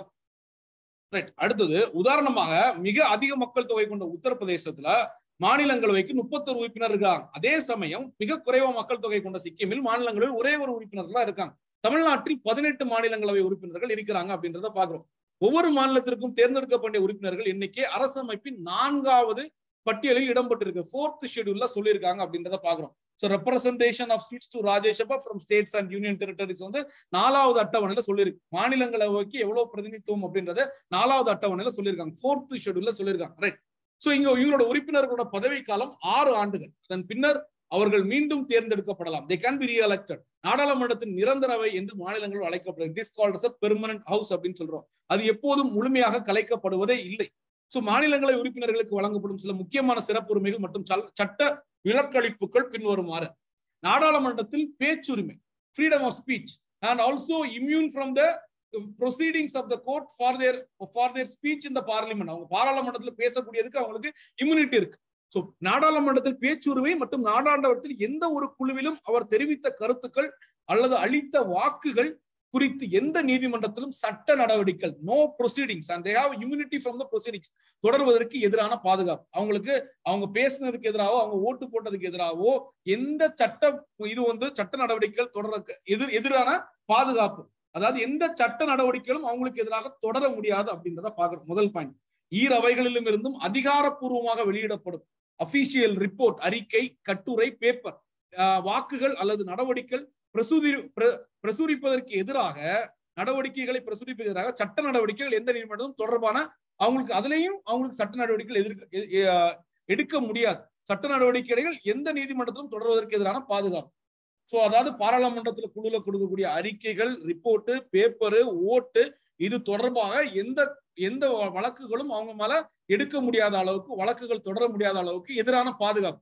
ஸோ அப்படின்னா they have the immunity so அவங்களுக்கு இதுல இருந்து இவங்க மேல கேஸ் பண்ண முடியாது. ஓ அவங்க பே பாராளுமன்றத்துல பேசுறதுக்காக வேண்டியோ ஓட்டு போடுறதுக்காக வேண்டியோ பாராளுமன்ற அறிக்கை சம்பந்தமா வச்சு அவங்க மேல கேஸ் போட முடியாது. அதுல இருந்து அவங்களுக்கு பாதுகாப்பு. நாடாளுமன்ற நடவடிக்கைகளை பற்றி விசாரணை நடத்துவதற்கு ஸோ இங்க பாராள பார்லிமெண்ட்ரி ப்ரொசீடிங்ஸ் பத்தி இவங்களுக்கு வந்து ஒரு ப்ரொசீடிங்கும் பண்ண முடியாது. எந்த கோர்ட்லயுமே அங்க நட பாராளுமன்ற நடவடிக்கைகளை பற்றி விசாரணை நடத்துவதற்கு நீதிமன்றத்திற்கு தடை விதிக்கப்பட்டுள்ளது. பார்லிமெண்ட்ல நடக்கிறது பார்லிமெண்டோட பவர் அங்க வந்து நீதிமன்றம் உள்ள வரக்கூடாது. செப்பரேஷன் ஆஃப் பவர் சரிங்களா? ஈரவைகளில் எந்த ஒரு அவை நடவடிக்கைகளின் உண்மையான எந்த ஒரு அறிக்கையும் செய்தித்தாளில் பிரசுரிக்கும் உரிமைக்கு எதிரான சட்ட விலக்களிப்பு. அறிக்கைகளையும் செய்தித்தாளில் பிரசுரிக்கும் உரிமைக்கு அங்க செய்தித்தாள்ல வந்தாலும் அதை வச்சாலும் இவங்க மேல கம்ப்ளைண்ட் எடுக்க முடியாது. பிரசுர் பிரசுரம் தவறான நோக்கோடு பிரசுரிக்கப்பட்டதாக இருந்தால் ஒழிய அதற்கு எதிரான நீதிமன்ற சட்ட நடவடிக்கைகள் எதிரான பாதுகாப்பு. சோ அது தவறான நோக்கத்தோட இருந்தா தவிர மாலிஸ் பிராக்டிஸா இருந்தா தவிர அதற்கு எதிராகவும் இவங்களுக்கு பாதுகாப்பு.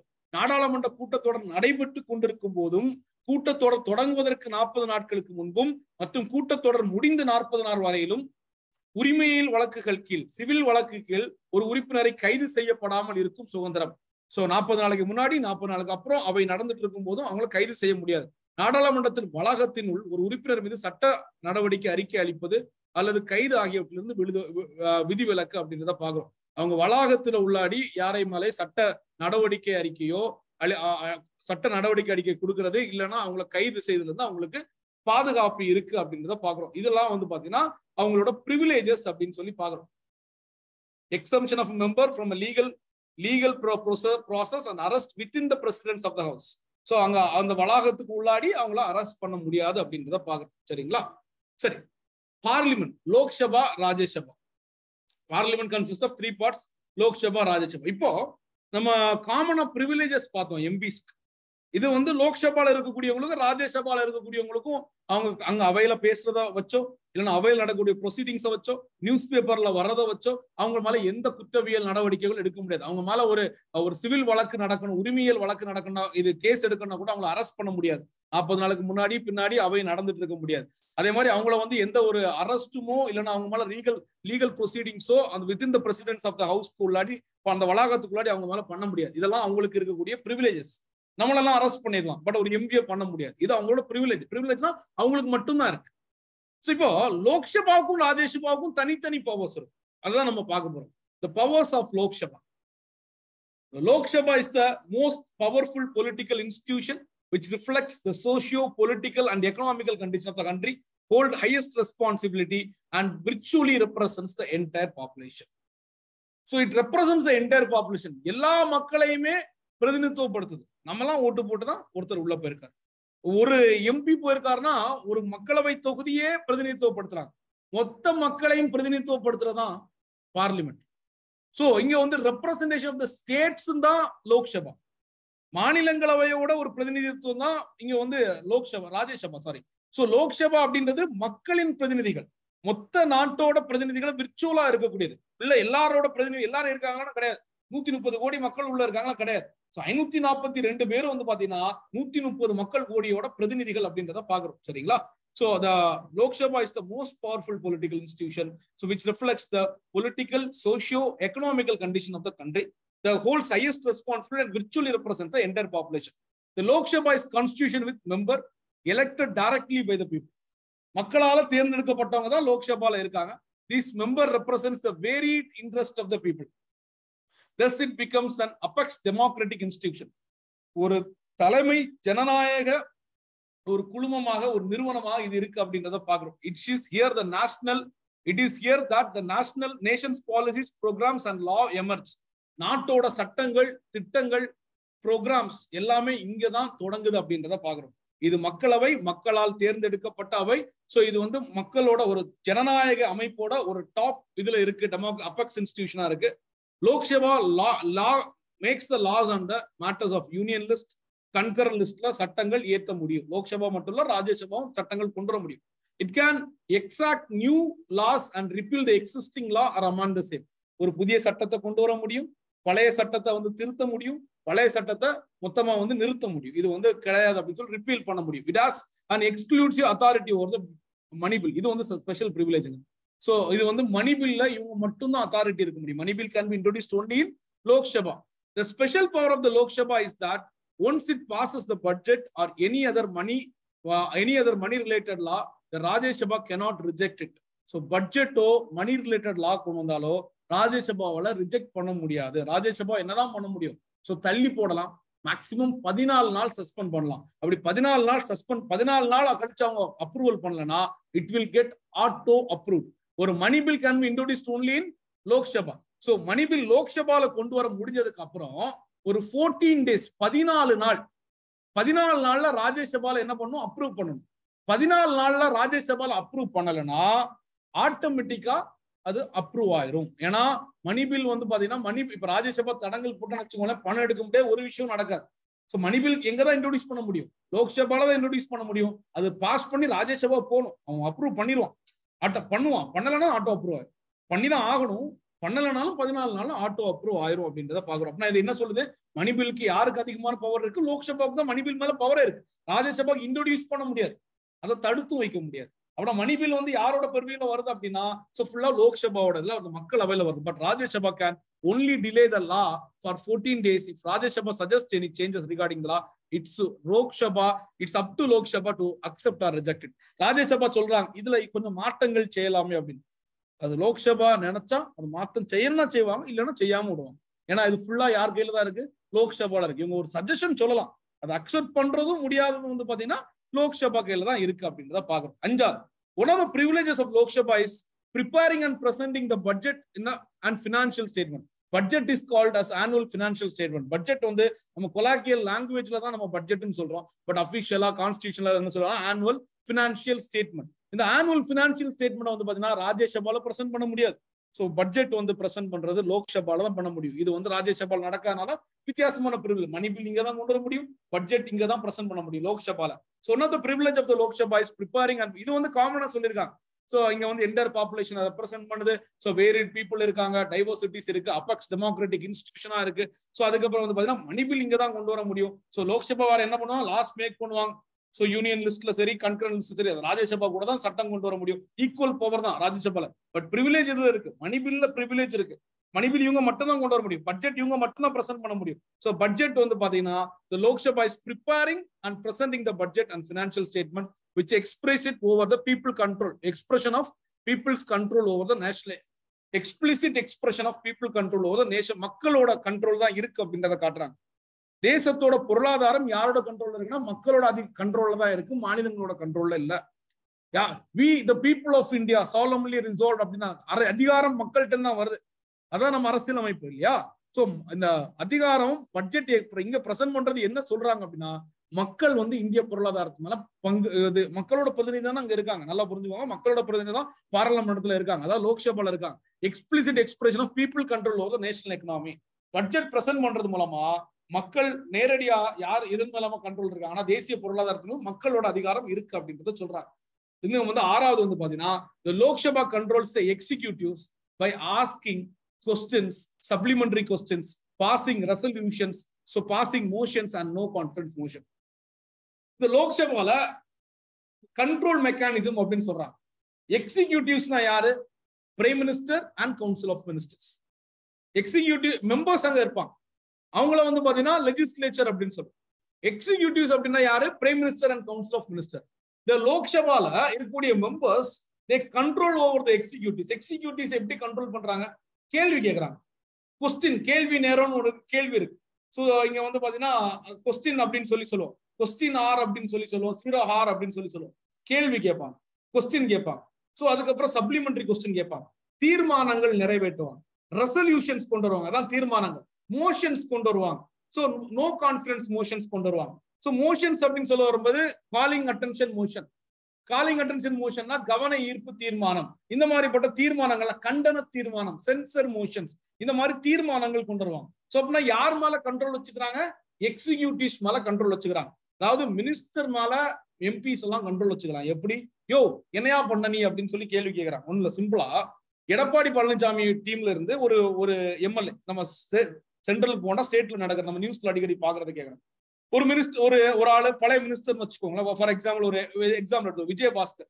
அவர் வந்து கேள்வி கேட்கிறார் என்ன மருத்துவத்துறையில இப்படி இருக்கு அப்படின்னு சொல்லி யார் மேல கேள்வி கேட்கறாரு மருத்துவ அமைச்சர் மேல கேள்வி கேட்கிறாரு யாரு? மா சுப்பிரமணியம். மாசு மேல ஒரு கேள்வியை கேட்கிறாரு வச்சுக்கோங்க. அப்படின்னா இவருக்கு என்ன அதிகாரம் இருக்கு? இவர் ஒரு வெறும் எம்எல்ஏ தான். இவர் லெஜிஸ்லேச்சர் தான். But he has the control over the executive எப்படி இவர் மேல இவருக்கு அதிகாரம் இருக்கு அப்படின்னா கேள்வி கேட்கிறாருல பதில் சொல்லு.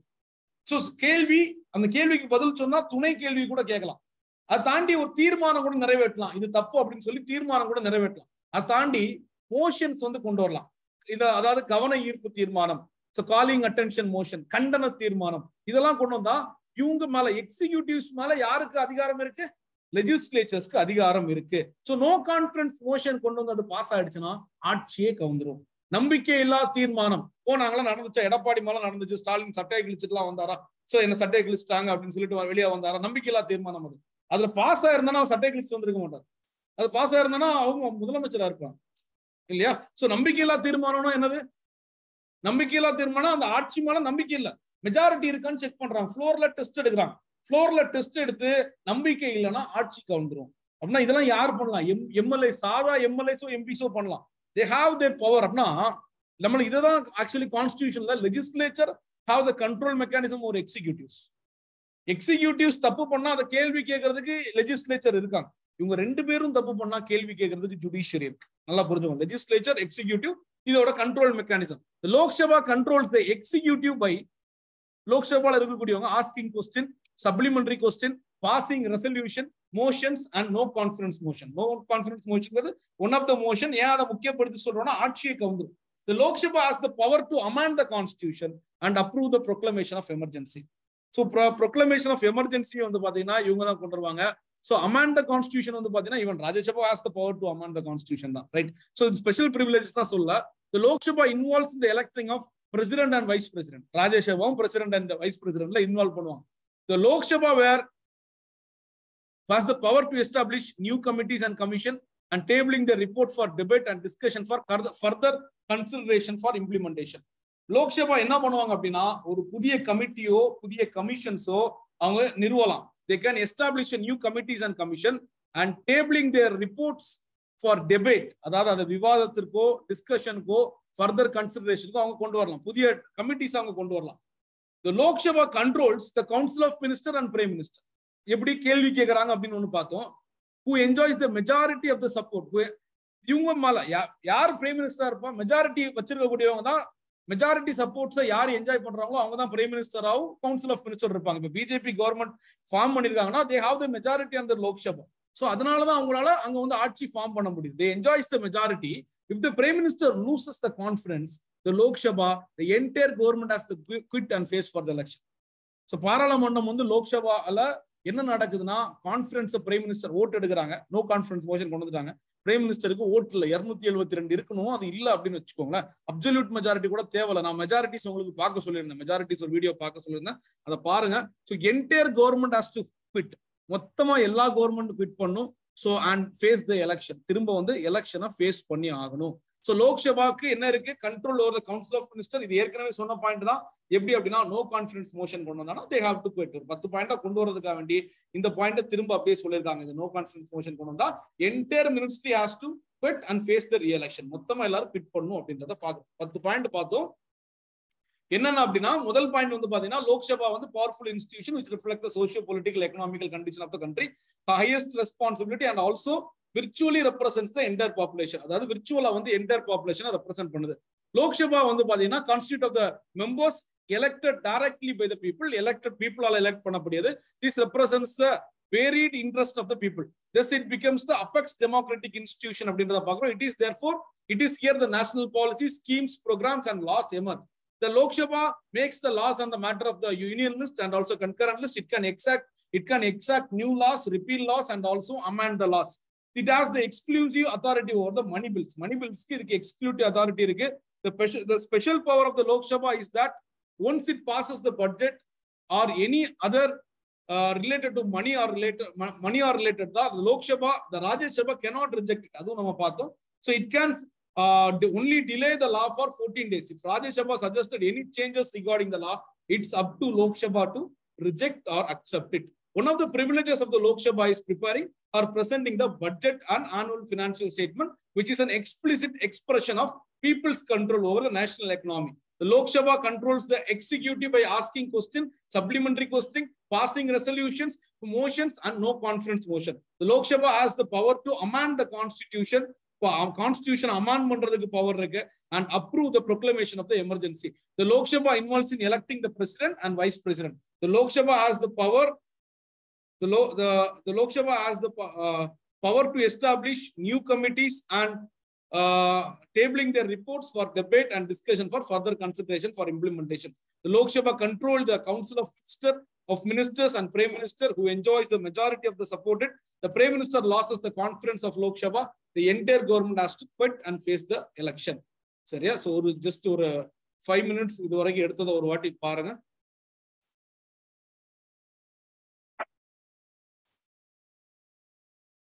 பவர்ஸ் ஆஃப் ராஜேஷபா ஸோ இவ்வளவு நேரம் வந்து பாத்தீங்கன்னா லோக்சபாவோட பவர் பார்த்தோம்.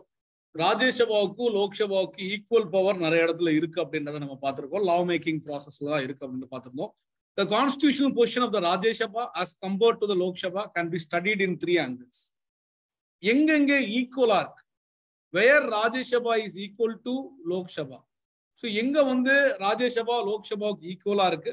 வேர் Rajya Sabha is unequal to Lok Sabha. எங்க வந்து ராஜ்யசபா லோக்சபாவுக்கு அன்இக்குவலா இருக்கு.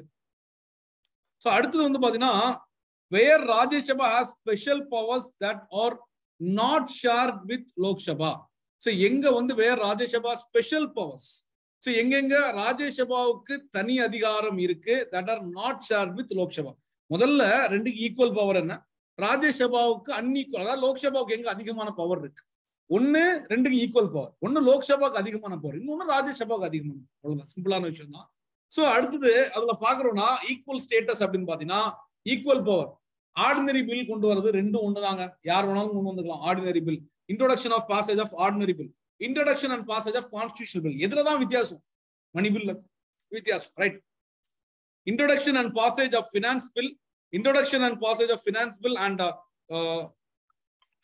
introduction and passage of finance bill and அடுத்தது வந்து பாத்தீங்கன்னா involving expenditure from the consolidated fund of India so இதுல வந்து கன்சாலிடேட்டட் ஃபண்ட் ஆஃப் இந்தியாவில் இருக்கக்கூடியது.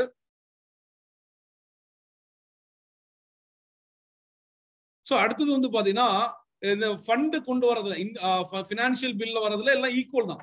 டிஃபரன்ஸ்லாம் ஒன்றும் கிடையாது. Election and impeachment of president president எலெக்ஷன்ல இவங்களுக்கு பவர் சேம் பவர் தான். Election and removal of vice president hour ராஜ்யசபாவுக்கு மட்டும் அந்த ஒரு பவர் எக்ஸ்ட்ராவா இருக்கு வைஸ் பிரசிடென்டோட ரிமூவல அவங்க தான் இனிஷியேட் பண்ண முடியும். பிரசிடென்டோட ரிமூவல ரெண்டு ஹவுஸ்ல இருந்து எந்த ஹவுஸ்ல வேணாலும் one by four of the members வந்து சைன் பண்ணா இனிஷியல் இனிஷியேட் பண்ண முடியும். பட் ஆனா ராஜ்யசபால அப்படி கிடையாது. ராஜ்யசபால வந்து வைஸ் பிரசிடென்டோட இம்பீச்மெண்ட் ஸ்டார்ட் பண்ணணும்னா அது எங்க இருந்தா ஸ்டார்ட் பண்ண முடியும்னா ராஜ்யசபா ராஜ்யசபால மட்டும்தான் அப்சல்யூட் மெஜாரிட்டி லோக்சபால சிம்பிள் மெஜாரிட்டி அதுல ஒரு வித்தியாசம் இருக்கு. The removal of the vice பிரசிடென்ட்ல he is remove by the resolution pass by Rajya Sabha by special அப்சல்யூட்னு சொல்லிட்டு ஸ்பெஷல் மெஜாரிட்டி பை லோக்சபால வந்து பாத்தீங்கன்னா சிம்பிள் மெஜாரிட்டி தான். இது ஒரு வித்தியாசம் இருக்கு. சரிங்களா? Making recommendation to the president for removal of chief justice and district judge and judges of supreme court high court chief election commissioner and control and control and auditor general இவங்களாம் remove பண்றதுக்கு recommendation பண்ணுவாங்கல்ல? லோக்சபாவுக்கு ஈக்குவலான power தான் ராஜ்யசபா ரெண்டும் செலச்சது கிடையாது. ரெண்டும் equal power தான் இருக்கு ரிமூவலுக்கு approval of ordinance issued by the president president வந்து அவசர சட்டம் கொண்டு வந்தா ரெண்டு பேருக்கும் ஈக்குவல் பவர் தான். யாருக்கும் வித்தியாசம் கிடையாது. Approval of proclamation of all three types of emergency by the president எமர்ஜென்சிஸா approve பண்றது வந்து பாத்தீங்கன்னா அதுக்கும் வந்து பாத்தீங்கன்னா மூணு ரெண்டு பேருக்கும் ஈக்குவலான பவர் தான் இருக்கு. Selection of minister including prime minister கான்ஸ்டியூஷன்ல வந்து பாத்தீங்கன்னா பிரைம் மினிஸ்டர் வந்து லோக்சபால தான் இருக்கணும்லாம் கிடையாது. பிரைம் மினிஸ்டர் வந்து எம்பியா தான் இருக்கும் மன்மோகன் சிங் வந்து பாத்தீங்கன்னா மெம்பர் ஆஃப் ராஜ்யசபா. ராஜ்யசபால மெம்பர் தான். ஸோ அப்படின்னா ரெண்டு சீஃப் மினிஸ்டர் பிரைம் மினிஸ்டரா இருக்கட்டும் மினிஸ்டரா இருக்கட்டும் they can be from both the houses அதுவும் ஈக்குவல் பவர் தான். Under the constitution, the minister, including prime minister, can be member of either house. However, irrespective of their membership, they are responsible to the Lok Sabha. ரெண்டு பேர் ரெண்டு பேருமே minister ஆகலாம். ரெண்டு அவையில இருக்கவங்களும் மினிஸ்டர் ஆகலாம். பட் ஆனா யாருக்கு ரெஸ்பான்சிபிள்னா லோக்சபாவுக்கு ரெஸ்பான்சிபிள் ஈக்குவல் பவர் இதெல்லாம் ஈக்குவல் பவர் இதுல ஈக்குவல் பவர்னு பார்த்தோம். ஸோ ஒன்னு வந்து பாத்தீங்கன்னா பில்லு சாதா பில்லு கொண்டு வரதுக்கு கான்ஸ்டியூஷன் பில் கொண்டு வரதுக்கு எக்ஸ்பெண்டிச்சர் அதாவது introduction and passed financial financial bill not money bill நல்லா புரிஞ்சுக்கோங்க.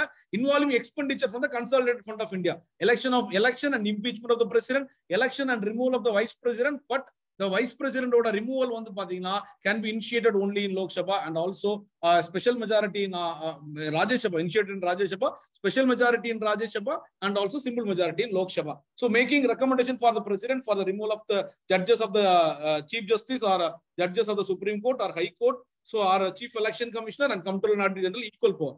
Approval of ordinance equal power. Approval of emergencies on the pathina. Approval and proclamation of emergencies equal power. Selection and selection of ministers including prime minister on the equal power. So on the anyone can be a minister, anyone can be a prime minister, but he has to be a member of the parliament. But the condition என்னன்னா the ministers and council of ministers responsible to Lok Sabha அப்படின்றத பாக்குறோம் consideration of report of the constitutional bodies like finance commission union public service commission இது எல்லாமே வந்து பாத்தீங்கன்னா consideration consider பண்றது ரெண்டு பேருக்கும் ஈக்குவல் ஈக்குவல் பவர் தான். ஒரு ரிப்போர்ட் கொடுக்குறாங்கன்னா ரெண்டு பேரும் கன்சிடர் பண்ணிக்குவாங்க ரைட்டா enlargement of the jurisdiction of the supreme court and union public service commission supreme கோர்ட்டோட jurisdiction enlargement பண்றது யூனியன் பப்ளிக் சர்வீஸ் என்லார்ஜ் பண்றது ரெண்டு பேருக்கும் ஈக்குவல் பவர் தான். என்லார்ஜ்மெண்ட் ஆஃப் த ஜூரிஸ்டிகேஷன் அவங்களோட வரம்பு எந்த லெவல்ல அவங்க இருக்கும் எதை எந்த எல்லைகள் அவங்களுக்கு இருக்கும் எது எது எந்த லெவல்ல அவங்களுக்கு பவர் இருக்கும் அப்படின்ற ஜூரிஸ்டிகேஷன்லாம் வந்து பாத்தீங்கன்னா அது ரெண்டுக்கும் ஈக்குவல் பவர் தான். அன்இக்குவல் ஸ்டேட்டஸ் வித் லோக்சபா லோக்சபாவுக்கு எதுல அதிகமான பவர் இருக்கு? இந்த following matters the powers and status of Rajya Sabha R unequal that of Lok Sabha அதாவது money bill can be introduced only in the Lok Sabha and in not Rajya Sabha அப்படின்னா முதல்ல மணி பில் வந்து unequal status Rajya Sabha can amend or reject money bill amend பண்ணலாம் இல்ல reject பண்ணலாம். It should return the bill to the Lok Sabha within fourteen days either with recommendation or without recommendation அவங்க return பண்ணி ஆகணும். Right unequal power அவங்களுக்கு அங்க இருக்கு. Lok Sabha can either accept or reject all the recommendation of the Rajya Sabha அவங்க accept பண்ணிக்கலாம் இல்ல reject பண்ணிக்கலாம். In both cases the money bill is deemed to be passed by the அவங்க பதினாலு நாள்ல அவங்க ரெக்கமெண்டேஷன் கொடுத்து அமிச்சாலும் கொடுக்காம அமிச்சாலும் இவங்க அந்த ரெக்கமெண்டேஷன் அக்செப்ட் பண்ணாலும் பண்ணலனாலும் ஆட்டோமேட்டிக்கா அது பாஸ் ஆச்சுன்னு தான் அர்த்தம். ஃபினான்ஸ் எல்லாமே வந்து பாத்தீங்கன்னா எதை சொல்லியிருக்கு? மணி பில்ல பத்தி தான் சொல்லியிருக்கு. மூணு பாயிண்ட் மணி பில் பத்தி தான் சொல்லியிருக்கு. ரைட் அடுத்தது மணி பில்ல வச்சு மூணு பாயிண்ட் கொடுத்துருக்காங்க. அடுத்தது finance bill not containing solely the matters of article one ten நூத்தி பத்து வந்து பாத்தீங்கன்னா மணி பில் இல்லையா? அதை தள்ளி also can be introduced only in Lok Sabha and not in Rajya Sabha so not containing solely the matters of article ten finance bill வந்து பாத்தீங்கன்னா article நூத்தி பத்து மணி பில் அதை தள்ளி உள்ள ஃபினான்ஸ் பில் வந்து பாத்தீங்கன்னா ராஜ்யசபால உள்ள கொண்டு வர முடியாது லோக்சபால தான் கொண்டு வரையும் but with this regard to the passage both ஹவுசஸ்க்கு equal power ஆனா இதை பாஸ் பண்ணும்போது ரெண்டு ஹவுஸ்க்கு equal power not like that of money bill மாதிரி கிடையாது. ஆட்டோமேட்டிக்கல் அப்ரூவ் கிடையாது. பினான்ஸ் பில்ல வந்து பாத்தீங்கன்னா பாஸ் பண்றது ஈக்குவல் ரேட் ஆனா பினான்ஸ் பில் எங்க இன்ட்ரோடியூஸ் பண்றாங்க? லோக்சபால தான் கொண்டு வர்றாங்க அப்படின்றத பாக்குறோம். அது வந்து நூத்தி பத்துக்கு ஆக்சுவலி நூத்தி பத்துல ஒன்னு உண்டு நூத்தி பத்துல ரெண்டு உண்டு. நூத்தி பத்துல ஒன்னு வந்து பாத்தீங்கன்னா பின்ன மணி பில் ஸோ நூத்தி பத்துல ரெண்டு வந்து பாத்தீங்கன்னா பினான்ஸ் பில் நூத்தி பதினேழுல ஒண்ணுன்னு சொல்லலாம். சாரி நூத்தி பதினேழுல ஒன்னு வந்து பாத்தீங்கன்னா மணி பில் நூத்தி பதினேழுல ரெண்டு வந்து பாத்தீங்கன்னா finance bill so all the money bills are finance bill புரியுதா? But all but not all the finance bill are money bill புரியுதா? All the money bill are finance bill but not the all all the finance bill are money bill the final power to decide whether a particular bill is money bill வந்து யார் தான் decide பண்ணுவா the speaker of the Lok Sabha but not the chairman of the Rajya Sabha புரியுதா? யார் வந்து decide பண்ணுவா? Either it's money bill or not அப்படின்றத speaker தான் டிசைட் பண்ணுவாரு. Speaker of the Lok Sabha preside over the joint sitting joint sitting அப்படின்னா money பில்ல இவங்களுக்கு தான் பவர் மணி பில்ல டிசைட் பண்றது ஸ்பீக்கர் தான். அதே மாதிரி ஜாயிண்ட் சிட்டிங் கூட்டு அமர்வு நடக்குதுன்னா யார் தான் தலைமை தங்குவார்னா ஸ்பீக்கர் தான். சோ அது வந்து ராஜ்யசபாவோட சேர்மனு கிடையாது. The Lok Sabha with greater number wins the battle in joint sitting, except when combined strength of the ruling party in both houses is less than that of opposition party. அதாவது லோக்சபால greater number இருப்பாங்க. ஐநூத்தி நாற்பத்தி ரெண்டு பேர் இருக்காங்க. இங்க இருநூத்தி ஐம்பது பேர் தான் இருக்காங்க. எப்பவுமே ஜாயின் சிட்டிங்ல அவங்க தான் வின் பண்ணுவாங்க அப்படின்னு சொல்லி சொல்றாங்க. Except when combined strength of the ruling party இந்த both houses is less than that of the opposition party ரெண்டு ஹவுஸ்ல இப்ப லோக்சபா இப்போ லோக்சபால இருக்கக்கூடியது பிஜேபி இப்போ எக்ஸாம்பிள் வச்சுக்கோங்க. இருநூத்தி எழுபத்தி ரெண்டு பிளஸ் இருநூத்தி எண்பது வச்சுக்கோங்க. அவங்களுக்கு அங்க மெஜாரிட்டி இருக்கு. சோ இதே இடத்துல இங்க இருநூத்தி ஐம்பதுல அவங்களுக்கு இங்க வந்து இருநூத்தி ஐம்பது இருநூத்தி ஐம்பது வச்சுக்கோங்களேன். இந்த இருநூத்தி ஐம்பதுல அவங்களுக்கு இங்க மெஜாரிட்டி இல்ல அப்படின்னு வச்சுங்கன்னா இங்க இவங்களுக்கு மீறி இருக்கும்ல இருநூறு பேர் இருப்பாங்க. இங்க இவங்களுக்கு இருநூறு பேர் தான் இவங்களோட பாஸ் பண்ணிடுவாங்க. அதிகமா இருக்கும். சோ அப்படி இருந்தானா அவங்களுக்கு கஷ்டம். அதை இல்லாத டைம்ல வந்து பாத்தீங்கன்னா லோக்சபாவுக்கு தான் அதிகமான பவர் இருக்கும் ஜாயிண்ட் சிட்டிங்ல ஏன்னா லோக்சபால அதிகமான மெஜாரிட்டி இருக்கும் எக்ஸப்ட் த டோட்டல் ஸ்ட்ரென்த் வந்து பாத்தீங்கன்னா ரெண்டு ஹவுஸ்ல இருக்கக்கூடிய ஸ்ட்ரென்த்ல இப்ப பிஜேபிக்கு வந்து பாத்தீங்கன்னா இங்க இருநூத்தி எண்பது இருக்கு. மீதி வந்து பாத்தீங்கன்னா காங்கிரஸ் இருக்குன்னு வச்சுக்கோங்க. பட் ரியாலிட்டியில அப்படி கிடையாது. முந்நூறு சரி இவங்களுக்கு ஒரு முந்நூறு இருக்குன்னு வச்சுக்கோங்க. இருநூத்தி நாற்பத்தி ரெண்டு வந்து இவங்களுக்கு இருக்கு. ஐநூத்தி ஐம்பத்தி ரெண்டு ஆச்சா. சும்மா ஒரு எக்ஸாம்பிள் சொல்றேன். ரெண்டு ரெண்டு பார்ட்டி சிஸ்டம் சொல்றேன். பட் நிறைய பார்ட்டி இருக்கு ரீஜனல் பார்ட்டி இருக்கு ரியாலிட்டியில வர சினாரியோ நான் ஒரு இதுக்காக வேண்டி சொல்றேன். சோ இங்க இங்க வந்து பிஜேபிக்கு இவ்வளவு இருக்கு. அடுத்தது இது ரெண்டு காங்கிரஸ்க்கு இருநூத்தி நாற்பத்தி ரெண்டு இருக்கு. இங்க வந்து பாத்தீங்கன்னா பிஜேபிக்கு வந்து ஒரு ஐம்பது இருக்கு. இங்க வந்து பாத்தீங்கன்னா இவங்களுக்கு இருநூறு இப்போ வந்து நானூத்தி நாற்பத்தி ரெண்டு ஆச்சு. இப்ப யாருக்கு மெஜாரிட்டி காங்கிரஸ்க்கு மெஜாரிட்டி இருக்கு. இங்க இவங்களுக்கு மெஜாரிட்டி கம்மியா இருக்கு. பட் ரியாலிட்டியில வேற மாதிரி இருக்கு. சோ இந்த இந்த மாதிரி ஒரு சினாரியோ இல்லாத தவிர அதாவது கம்பைண்டா சேர்த்து இங்க ரூலிங் பார்ட்டி ஆப்போசிஷன் பார்ட்டியோட அதிகமா இருந்துச்சுன்னா சோ எப்படியுமே வந்து பாத்தீங்கன்னா லோக்சபா தான் வின் பண்ணும். ஏன்னா லோக்சபால தான் நிறைய மெஜாரிட்டி இருக்கு நிறைய சீட் இருக்கு. Lok Sabha with greater number wins the battle in joint sitting except when combine strength of the ruling party in both houses is less than that of the opposition party இது initial stage of BJP கவர்மெண்ட்ல முதல்ல இருந்துச்சு. Rajya Sabha can only discuss the budget பட்ஜெட்டை discuss பண்ணலாம். Introduce பண்ண முடியாது. Pass பண்ண முடியாது. Discuss the budget but cannot vote on the demands for grants they can only discuss the but பட்ஜெட்ல அவங்களுக்கு என்ன பவர்னா இன்ட்ரோடியூஸ் பண்ண முடியாது டிஸ்கஸ் தான் பண்ண முடியும். ஓட் ஆன் கிராண்ட்ஸ்க்கு ஓட் பண்ண முடியாது. They can only discuss the budget only discuss the budget சரிங்களா? A resolution for discontinuation of national emergency can be passed only in Lok Sabha. அதாவது நேஷனல் எமர்ஜென்சியை முடிக்கிறோம் அப்படின்னு சொல்லி தீர்மானம் கொண்டு வரது எங்க தான் கொண்டு வர முடியும்? லோக்சபால தான் கொண்டு வர முடியும். ராஜ்யசபால கொண்டு வர முடியாது. Resolution for discontinuation of national emergency can be passed only in Lok Sabha and not in Rajya Sabha resolution for discontinuation of national எமர்ஜென்சினா நான் தேசிய நெருக்கீடு நிலை வந்து முடியுது அப்படின்றது எங்க தான் கொண்டு வர முடியும் அப்படின்னா லோக்சபால தான் கொண்டு வர முடியும் ராஜ்யசபால கொண்டு வர முடியாது. Rajya Sabha cannot remove the council of minister by passing no confidence motion. No confidence motion can be introduced only in லோக்சபால தான் கொண்டு வர முடியும். ஏன்னா ministers are collectively responsible to the Lok Sabha. No confidence motion வந்து Rajya Sabha cannot remove the council of minister by passing no confidence motion நம்பிக்கையில்லா தீர்மானம் ராஜ்யசபால கொண்டு வர முடியாது. மணிபில் ராஜ்யசபால கொண்டு வர முடியாது. பட்ஜெட் வந்து ராஜ்யசபால கொண்டு வர முடியாது. ஜாயிண்ட் சிட்டிங் ராஜ்யசபால சேர் பண்ண முடியாது. மணிபில்ல டிசைட் பண்ண முடியாது. சோ எமர்ஜென்சியை டிஸ்கண்டினியூன்ஸ் பண்ண முடியாது. சோ இங்க ராஜ்யசபா வந்து பாத்தீங்கன்னா council of minister no confidence motion போட்டு இது இது பண்ண அவங்கள வந்து பதவி நீக்கம் செய்ய முடியாது. காரணம் no confidence motion can be introduced only in Lok Sabha. சரிங்களா? This is because the council of minister are collectively responsible to Lok can discuss and criticise the policies and activities with government so அவங்க criticise பண்ணலாம் activities அதாவது அவங்க government ஆக்டிவிட்டிஸை பாலிசிஸை criticise பண்ணலாம். இந்த அவையில வந்து discuss பண்ணலாம். ரைட் அடுத்தது ஸ்பெஷல் பவர்ஸ் ஆஃப் ராஜ்யசபா இது நம்ம என்ன பார்த்தோம்? முதல்ல ஈக்குவல் பவர் பார்த்தோம். அடுத்து லோக்சபாவுக்கு என்ன அதிகமான பவர் இருக்குன்னு பார்த்தோம். இப்போ ராஜ்யசபாவுக்கு என்ன அதிகமான பவர் இருக்கு அப்படின்றத பார்த்தோம் டியூ டு ஃபெடரல் கேரக்டர் ராஜ்யசபாவுக்கு ரெண்டு exclusive or special powers that are not enjoyed with Lok Sabha so federal கேரக்டரிஸ்டிக்ஸ்னா Lok Sabha Rajya Sabha represents யார் அப்படின்னு பாத்தீங்கன்னா it represent states it's a council of states states represent பண்ணக்கூடியது. ஸோ அந்த ஃபெடரல் கேரக்டரிஸ்டிக்ஸை மெயின்டைன் பண்றதுக்காக வேண்டி லோக்சபாவோட ராஜ்யசபாவுக்கு சில ரெண்டு ஸ்பெஷல் ஃபீச்சர்ஸ் கொடுத்திருக்காங்க. ஒன்னு ஆர்டிகிள் இருநூத்தி நாற்பத்தி ஒன்பது படி it can authorise the parliament to make law on a subject enumerated in the state list so state லிஸ்ட்ல ஒரு சட்டம் கொண்டு வரணும்னா அது யார் தான் இது பண்ணுவாங்க? அத்தரைஸ் பண்ணுவாங்கன்னா இவங்க ஸ்டேட் லிஸ்ட்ல ஒரு சட்டம் கொண்டு வரணும். அதாவது மாநில மாநில பட்டியல் அப்படின்றது நம்மளுக்கு ஒரு லிஸ்ட் இருக்கு. ஃபெடரல் லிஸ்ட்ல ஏழாவது அட்டவணையில மத்திய பட்டியல் மானிய பட்டியல் பொது பட்டியல் அப்படின்னு சொல்லியிருக்கு இந்த மாநில பட்டியல்ல ஏதாவது ஒரு சட்ட திருத்தம் கொண்டு வரணும் அப்படின்னா ஏதாவது யார் தான் என்ன இது பண்ண முடியும்? சோ ராஜ்யசபா தான் பண்ண முடியும். ஏன்னா அவங்க தான் மாநிலத்தை ரெப்ரசென்ட் பண்றாங்க. ஸ்டேட் லிஸ்ட்ல it can authorise the parliament to make a law on a subject enumerate state list பார்லிமெண்ட்ல ஸ்டேட் லிஸ்ட்ல parliament Lok Sabha cannot make laws Lok Sabha can make laws in எங்க தான் பண்ண முடியும்? யூனியன் லிஸ்ட் அண்ட் கன்கரன் லிஸ்ட்ல தான் பண்ண முடியும். பட் இந்த லோக்சபாவுக்கு ஒரு பவர் இருக்கு. It can authorise the parliament to make laws அந்த state list which is enumerated state list அப்படின்றத பாக்குறோம் இது வந்து இருநூத்தி நாற்பத்தி ஒன்பது ஸ்பெஷல் பவர் அதாவது ஸ்டேட் லிஸ்ட்ல ஏதாவது சட்டம் பார்லமெண்ட்ல கொண்டு வர முடியும்னா யார் தான் அதரைஸ் பண்ணணும் ராஜ்யசபா தான் ஏன்னா அது representation of the state it can authorise the parliament to create new all India services or common to both centre and state புதிய த்ரீ ஒன் டூ இந்த ரெண்டும் தான் இவங்களோட ஸ்பெஷல் பவர் புதிய அகில இந்திய ஒரு தேர்வாணையம் கொண்டு வரனாலோ both common to central and ஸ்டேட்ஸ்க்கு ஏதாவது ஒரு புதிய சிவில் சர்வீஸ் எக்ஸாமினேஷன் நடத்துறதுக்கு ஒரு காமன் பப்ளிக் சர்வீஸ் கமிஷன் கொண்டு வரனாலோ ஆல் இந்தியா சர்வீஸ் வந்து காமனா கிரியேட் பண்ணனாலோ யார் தான் அதரைஸ் பண்ண முடியும் it can authorise parliament to create new all India services common for both central and states யார் பண்ண முடியும் ஸோ இங்க வந்து ராஜ்யசபா தான் பண்ண முடியும். ராஜ்யசபாவுக்கு ரெண்டு பவர் இருக்கு.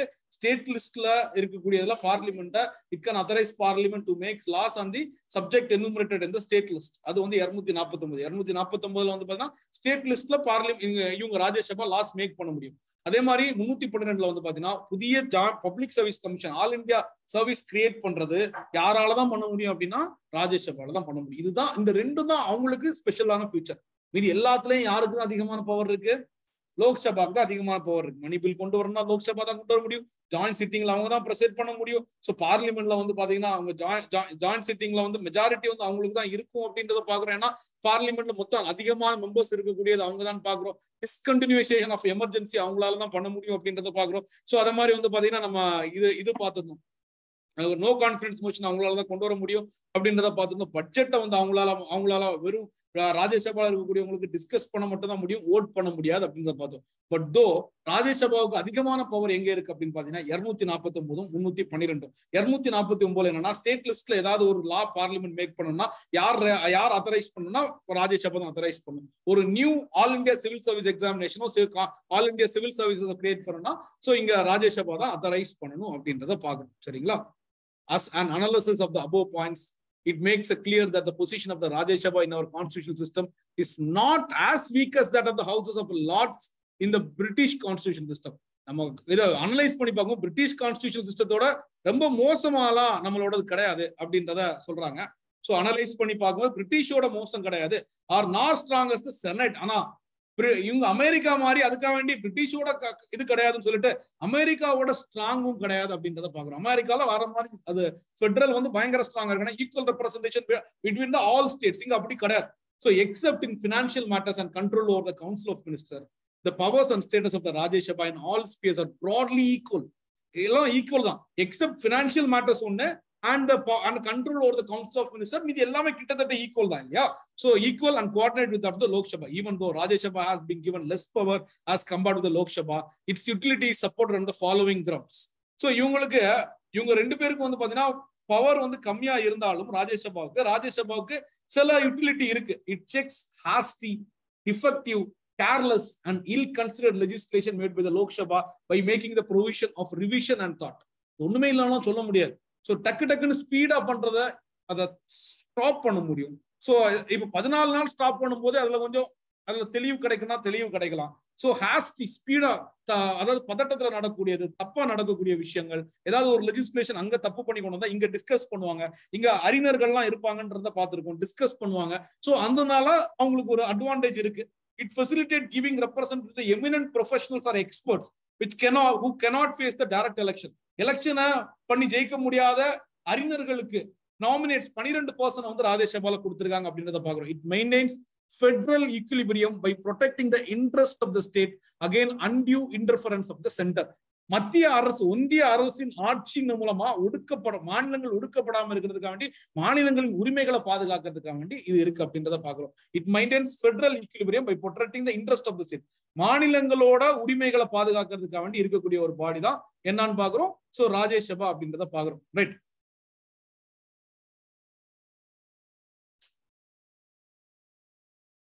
ஆர்டிகிள் ஒன் டுவெண்ட்டி வந்து பாத்தீங்கன்னா Hindi and English have been declared by the constitution to be languages for conducting business இந்த பார்லிமெண்ட் நூத்தி இருபது எதை பத்தி சொல்லுதுன்னா ஹிந்தி இங்கிலீஷ் தான் ஸோ பார்லிமெண்ட்ல பிசினஸ் டிரான்சாக்ஷன்ஸ்க்கு நடக்கக்கூடிய லாங்குவேஜ் என்னன்னா ஹிந்தியும் இங்கிலீஷும் அதை சொல்லக்கூடிய article one twenty one twenty எதை பத்தி சொல்லுன்னா ஒன் டுவெண்ட்டி ஹிந்தி ஞாபகம் வச்சுக்கோங்க. நூத்தி இருபது ஹிந்தி அண்ட் இங்கிலீஷ் வந்து பார்லிமெண்ட்ல பேசக்கூடிய மொழி அப்படின்னு ஞாபகம் வச்சுக்கோங்க. Presiding officer may however allow the member not to proficient in either address the house in mother tongue so proceeding officer வந்து என்ன பண்ணுவாங்கன்னா உங்களுக்கு அது ரெண்டு மொழியும் தெரியலன்னா உங்களோட தமிழ் மொழியில பேசிக்கோங்க அப்படின்பாங்க அதுக்கு ஒரு டிரான்ஸ்லேட்டும் வச்சுக்கோங்க. எந்த மொழி உங்களுக்கு தெரியுதோ அதுல பேசிக்கோங்க. நூத்தி இருபது ஹிந்தியை பத்தி சொல்லுது. சரிங்களா?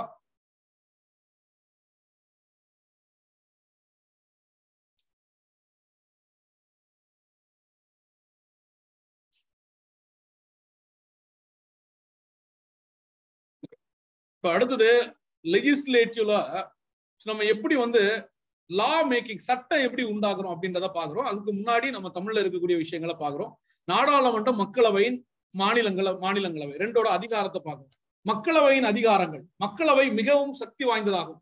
இது நாட்டின் அரசியல் சமூக மற்றும் பொருளாதார நிலையை பிரதிபலிக்கிறது.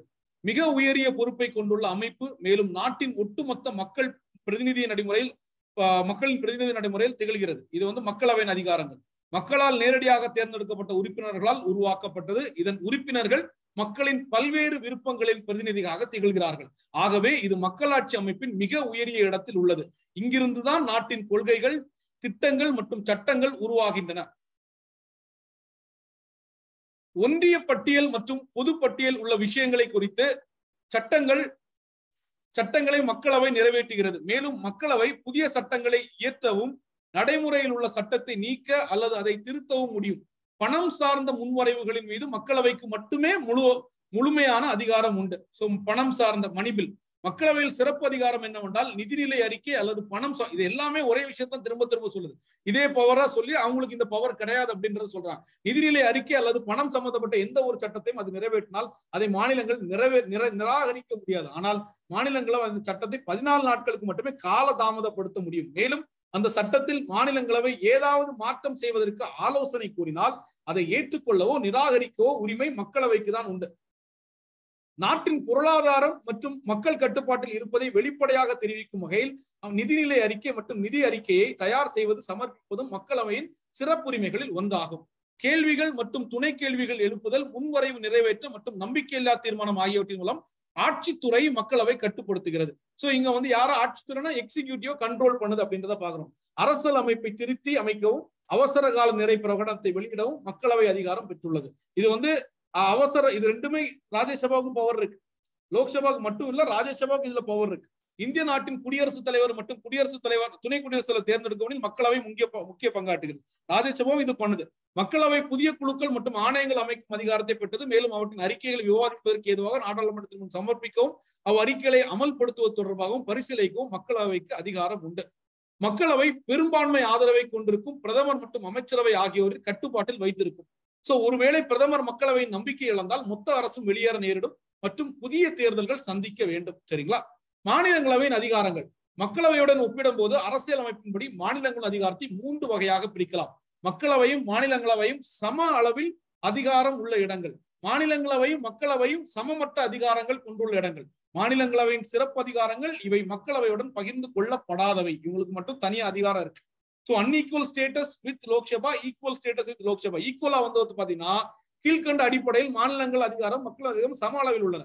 முன்வரைவுகள் அதாவது இது வந்து பாத்தீங்கன்னா ஏதாவது ஒரு டிராஃப்ட் பில்லு மற்றும் சட்ட திருத்தங்கள் ஏதாவது ஒரு மசோதா கொண்டு வரதா இருக்கட்டும் ஒரு ஆக்ட் ஒரு பில் கொண்டு வரதா இருக்கட்டும் அமான்மெண்ட் பில் கொண்டு வரதா இருக்கட்டும் ரெண்டுக்குமே ஈக்குவல் பவர் தான். இந்திய அரசின் தொகுப்பு நிதியிலிருந்து செய்யப்படும் செலவினங்கள் தொடர்பான முன்வரைவுகள் அறிமுகப்படுத்தல். சோ ஏதாவது ஒரு எக்ஸ்பெண்டிச்சர் அந்த கன்சாலிடேட் ஃபண்ட்ல வந்து பாத்தீங்கன்னா ரெண்டுக்கும் ஈக்குவல் பவர் தான் இருக்கு. சோ இப்போ வந்து ஒரு பினான்ஸ் பில்ல சில இடத்துல கொண்டு வரலாம் அவங்க.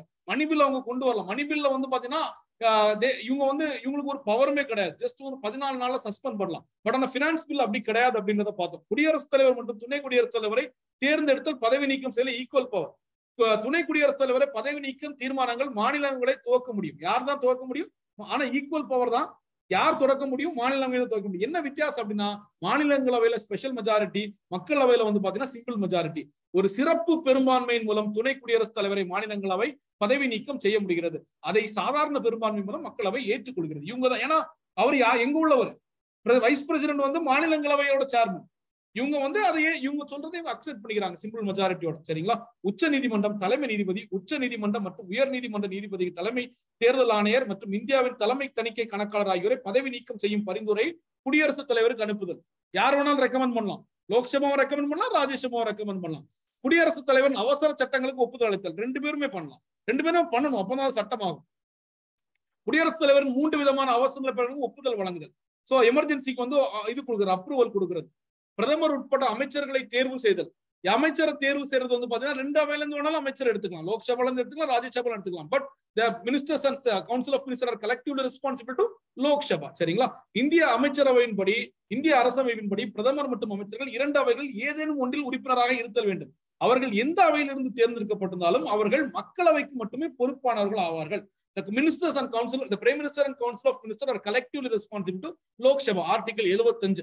நிதிக்குழு ஒன்றிய அரசு பணியாளர் தேர்வாணையம் சோ இந்த finance commission UPSC public service commission மற்றும் மத்திய தலைமை கணக்கு தணிக்கையாளர் அதாவது சிஏஜி கண்ட்ரோல் நாடு ஜெனரல் போன்ற அமைப்புகள் அளிக்கும் அறிக்கைகளை பரிசீலித்தல். யார் வேணாலும் அதை வந்து பாத்தீங்கன்னா பரிசீலனை செய்யலாம். யார் வேணாலும் அதை வந்து விவாதிக்கலாம் டிஸ்கஸ் பண்ணலாம். இவங்க மட்டும்தான் கிடையாது கன்சிடரேஷன் யார் வேணாலும் பண்ணிக்கலாம். சரிங்களா? உச்ச நீதிமன்றம் மற்றும் ஒன்றிய அரசு பணியாளர் தேர்வுக்கு அதிகார வரம்பை அதிகரிப்படுத்தல். சுப்ரீம் கோர்ட்டோட ஜுரிஸ்டிகேஷனோ இல்லைன்னா பப்ளிக் சர்வீஸ் கமிஷனோட ஜுரிஸ்டிகேஷன் இன்க்ரீஸ் பண்ண ரெண்டு பேரும் பண்ணிக்கலாம். இது ரெண்டு பேருக்கு ஈக்குவல் பவர் தான் சொல்லுது. சோ அடுத்தது மக்களவையுடன் சமன சமமற்ற நிலை. நிதி முன்வரைவு. மணிபில் தான். மணிபில் தான் திரும்ப திரும்ப மூணு பாயிண்ட்ல சொல்லியிருப்பாங்க. நிதி முன்வரைவானது மக்களவையில் மட்டுமே அறிமுகப்படுத்தப்பட்டு அறிமுகப்படுத்தப்பட இயலும். மாநிலங்களவை இல்ல. பதினாலு நாள் டைம் கொடுப்பாங்க அவ்வளவுதான். மாநிலங்களவை நிதி முன்வரைவில் திருத்தம் செய்யவோ அதை நிராகரிக்கவோ இயலாது. அதை அவங்க திருத்தம் செய்ய நிராகரிக்க ஆனா என்ன பண்ணலாம்? சஜஷன் பண்ணலாம். பரிந்துரை பண்ணலாம். இதை மாத்தலாமா அப்படின்னு சொல்லி. அதை அக்செப்ட் பண்றதும் அக்செப்ட் பண்ணாம இருக்கிறதும் லோக்சபாவோட விருப்பம். அம்முன்முறைவை பதினாலு நாட்களுக்குள் மாநிலங்களவை தன் பரிந்துரையுடன் அல்லது பரிந்துரை எதுவுமின்றி மக்களவைக்கு திருப்பி அனுப்ப வேண்டும். மாநிலங்களவை பரிந்துரைகள் மக்களவை ஏற்கலாம் அல்லது அதை ஏற்காமலே நிராகரிக்கலாம். எதுவாக இருப்பினும் முன்வரைவு ஈரவைகளிலும் நிறைவேறியதாக கருதப்படும். அவன் அக்செப்ட் பண்ணாலும் பண்ணலனாலும் பதினாலு நாள்ல நிறைவேறும். Exclusive power of money bill வந்து லைஸ் ஆன் லோக்சபா ஒரு நிதி முன்வரைவு சட்ட உறுப்பு நூத்தி பத்தில் அதாவது பினான்சியல் பில் வந்து எக்ஸப்ட் ஒன் டொன்ல கூறப்பட்டுள்ள விவரங்கள் தொடர்பாக இல்லாதிருப்பினும் அது மக்களவையில் மட்டுமே அறிமுகப்படுத்த முடியும் பினான்ஸ் பில் ஆனா அதை நிறைவேற்ற ஈரவைகளுக்கும் சமமான அதிகாரம் finance bill can be introduced in Lok Sabha but அதை பாஸ் பண்றதுக்கு ரெண்டு அது வந்து சும்மா ஃபோர்டீன் டேஸ்ல ஆட்டோ அப்ரூவல் ஆகாது சரிங்களா? ஒரு முன்வரைவு பண முன்வரைவு என்று தீர்மானிக்கும் அதிகாரம் மக்களவை சபாநாயகருக்கே உண்டு. அதே மாதிரி கூடை அமர்வு கூட்டமர்வுக்கும் அவர் தான் இருக்கு. ஈரவைகளின் கூட்டு கூட்டத்திற்கு மக்களவை சபாநாயகரை தலைமை தேகிறார். The joint sitting is presided over by the speaker பொதுவாக கூட்டு கூட்டங்களில் வாக்கெடுப்பில் மக்களவையின் நிலைப்பாடை வெற்றி பெறும். ஏனெனில் மக்களவையில அது மாநிலங்களோட அதிக உறுப்பினர்களை கொண்டுள்ளது. ஈரவைகளிலும் ஆளுங்கட்சி உறுப்பினர்களின் எண்ணிக்கை ஒட்டுமொத்த எதிர்கட்சியின் உறுப்பினர்கள் எண்ணிக்கை விட குறைவாக இருக்கும் சமயத்தில் மட்டுமே ஆளுங்கட்சியின் தீர்மானம் வெற்றி பெறாது. மாநிலங்களவையில் நிதிநிலை அறிக்கை திட்டத்தின் மீது விவாதம் நடத்தலாம்.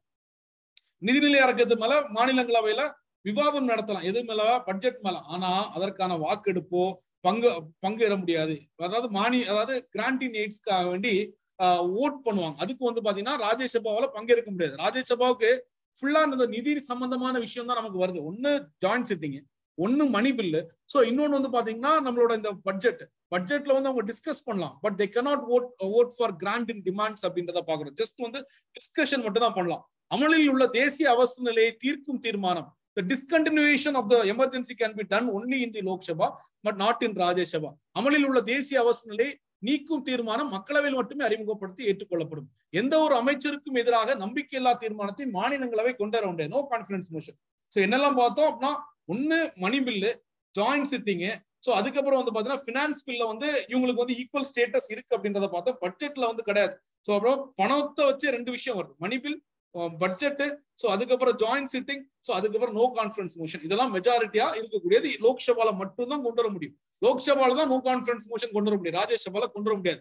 எந்த ஒரு அமைச்சருக்கும் எதிராகவும் நம்பிக்கையில்லா தீர்மானத்தை மாநிலங்களும் மேற்கொள்ள முடியாது. ஏனெனில் அமைச்சர்கள் குழுவாகவும் தனிப்பட்ட முறையில் மக்களவைக்கு பொறுப்பினார்கள். சோ மாநிலங்களவையில சோ மக்களவையில தான் நோ கான்பிடன்ஸ் மோஷன் கொண்டு வரும். நோ கான்பிடன்ஸ் மோஷன் பாஸ் ஆயிடுச்சுன்னா மொத்த அமைச்சர்களும் ரிசைன் uh, பண்ணிடணும் they have to face the new election so ஆனால் மாநிலங்களவை அரசின் கொள்கைகளை மற்றும் செயல்பாடுகளை விமர்சிக்க முடியும். மாநிலங்களவையின் சிறப்பு அதிகாரங்கள்.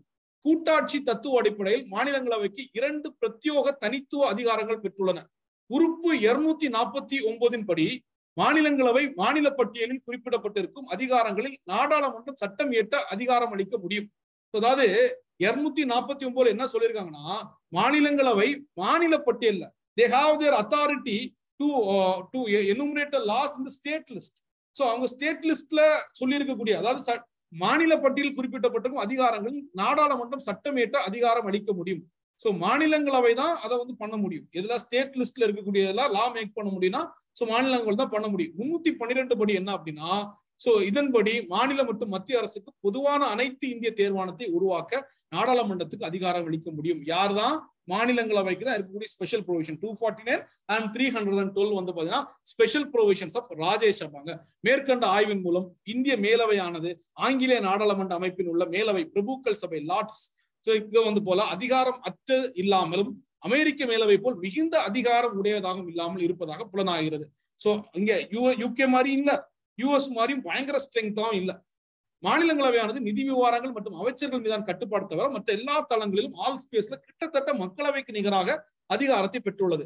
மக்களவையுடன் ஒப்பிடும் போது மாநிலங்களவைக்கு குறைவான அதிகாரம் கொடுக்கப்பட்டிருந்தாலும் கீழ்கண்ட விவகாரங்கள் அது பயன் பயன் அவசியமாகிறது. எதுல முக்கியமா இருக்குன்னா அவசரமாகவும் பதட்டமாகவும் குறைபாடுகளோடும் கவனமின்றியும் மக்களவையால் ஏற்றுக்கொள்ளப்பட்டு அனுப்பப்படும் சட்ட முன்வரைவுகள் திருப்பி அனுப்பவும் அவற்றில் திருத்தங்கள் மேற்கொள்ளும் மாநிலங்களவை செய்கிறது. அவசரமா ஒரு நடக்காம இருக்கிறதும் நேரடி தேர்தலை சந்திக்க முடியாத புகழ்பெற்ற நிபுணர்கள் கலை இலக்கிய மற்றும் வர வல்லுநர்கள் மற்றும் பிரதிநிதித்துவம் அளிக்கிறது. அவங்களுக்கு பிரதிநிதித்துவம் கொடுக்கப்படுது அப்படின்றத பாக்குறோம்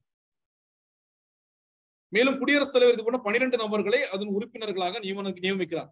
கூட்டாட்சி தத்துவத்தின் அடிப்படையில் மாநிலங்களின் உரிமைகளை பாதுகாக்கும் காவலாக மத்திய அரசின் அதிகார தலையீடுகள் தடுக்குகிறது சோ இது வந்து கூட்டாட்சியின் தத்துவத்தின் அடிப்படையில் மாநிலங்களின் உரிமையை பாதுகாக்கிறது.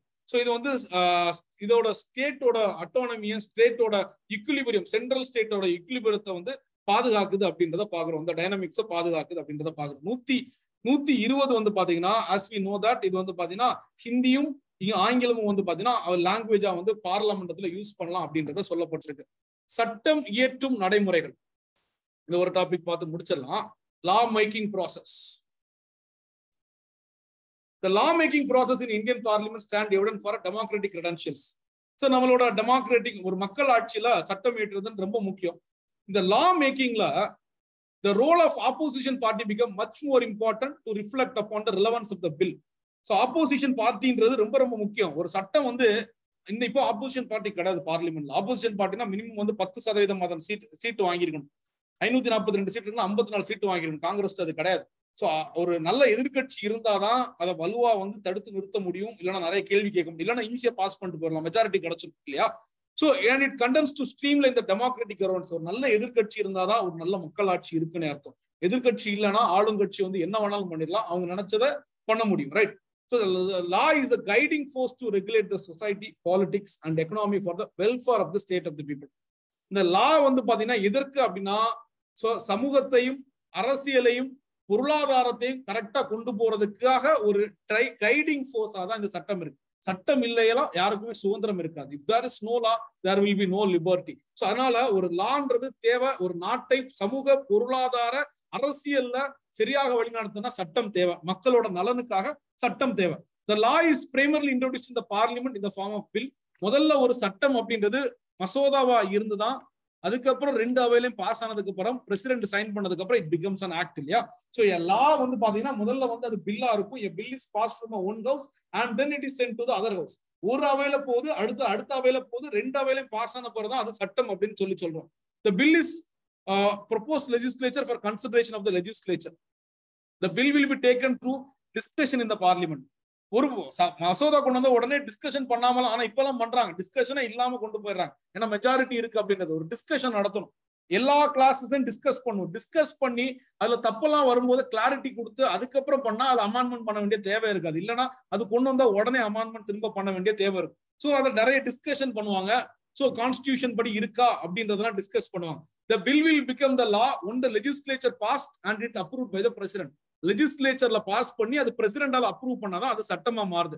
The law become act only by getting the consent from the president of India president sign பண்ண பிறகுதான் ஒரு பில் வந்து மசோதா ஒரு மசோதா வந்து சட்டமா மாறுது. ஒரு பில் வந்து it can be introduce from Lok Sabha or Rajya Sabha எங்க வேணாலும் இன்ட்ரோடியூஸ் பண்ணலாம். லோக்சபால இன்ட்ரோடியூஸ் பண்ணதுக்கு அப்புறம் ராஜ்யசபால போகும் ராஜ்யசபா இன்ட்ரோடியூஸ் பண்ண அப்புறம் பிரசிடென்ட் போகும் பிரசிடென்ட் சைன் பண்ண அப்புறம் அது ஆக்டா மாறும். சரிங்களா? The primary function of the parliament to make fresh laws and bring the changes இந்த எக்ஸிஸ்டிங் லா எக்ஸிஸ்டிங் லா ஏற்கனவே இருக்கக்கூடிய லாஸ்ல அமான்மெண்ட் போட்டு சேஞ்ச் கொண்டு வரலாம். புதுசா சட்டம் கொண்டு வரதும் இவங்களோட வேலை. ஆனா எது படி இருக்கணும்? கான்ஸ்டியூஷன் படி இருக்கணும். In India there are parliament can passes two types of bill money bill non bill non money bill சொல்லலாம். நாலு நாலு பில்னு சொல்லாங்க. Ordinary bill money bill finance bill amendment bill அப்படின்னு சொல்லி நாலு பில் சொல்லலாம். மணி பில் நான் மணி பில் நீங்க சொல்றாங்க. ஆர்டினரி பில் அப்படின்னு சொல்றோம். சோ அதுக்கப்புறம் வந்து பாத்தீங்கன்னா ஃபினான்ஸ் பில் அப்படின்னு சொல்லலாம். அமான்மெண்ட் பில் அப்படின்னு சொல்லி சொல்லலாம். இந்த மாதிரி நாலு டைப்ஸ் ஆஃப் அமா பில்ஸ் வந்து நம்ம பொதுவா சொல்லலாம்.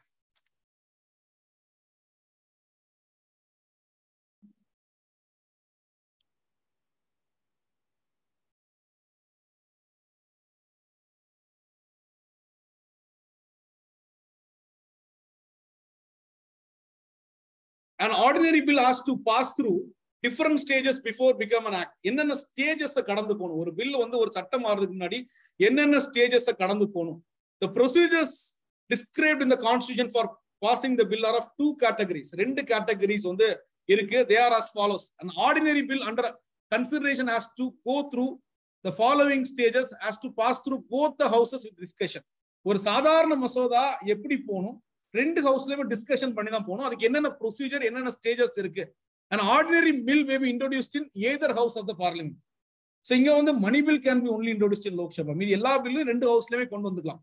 The first stage of the bill வந்து பாத்தீங்கன்னா இன்ட்ரோடக்ஷன் ஆஃப் த பில் ஒரு பில்ல வந்து ஒரு மசோதாவா அறிமுகப்படுத்துறது இன் ஏதர் ஹவுஸ் ஸோ அடுத்தது as reading of the bill முதல்ல இன்ட்ரோடியூஸ் பண்றது என்ன சொல்றோம்? ரீடிங் ஆஃப் த பில் அதை இன்ட்ரோடியூஸ் பண்றாங்க வாசிக்கிறாங்க சரிங்களா? So most of the bills are introduce by the minister concern பொதுவா ஒரு பில்லை யார் கொண்டு வருவோம் அப்படின்னா அதை துறை சார்ந்த அமைச்சர் தான் கொண்டு வருவார். அதை வந்து பாத்தீங்கன்னா பப்ளிக் பில் அப்படின்னு சொல்லுவோம். இதே இது ஒரு தனிநபர் ஒரு எம்பி ஒரு பில்ல கொண்டு வந்தா அதை வந்து பிரைவேட் மெம்பர் பில் அப்படின்னு சொல்லுவோம். Most of the bills are introduce by the minister concern the bill is drafted by the technical experts in that particular field அந்த பில்ல வந்து யார் வரைவு செய்திருப்பா அப்படின்னா இப்போ என்விரான்மெண்ட் சம்பந்தமா ஒரு லா வருதுன்னா அதுக்குள்ள டெக்னிக்கல் எக்ஸ்பர்ட்ஸ் தான் அதை வரைவு செஞ்சிருப்பாங்க. அதை டிஸ்கஸ் பண்ணுவாங்க அதுக்கப்புறம். And then council of minister will approve the bill அந்த பில்ல வந்து அதுக்கப்புறம் யாரு அப்ரூவ் பண்ணுவா? அமைச்சர் கொண்டு வந்த பிறகு அமைச்சரவை குழு அதாவது கவுன்சில் ஆஃப் மினிஸ்டர்ஸ் வந்து அப்ரூவ் பண்ணுவாங்க.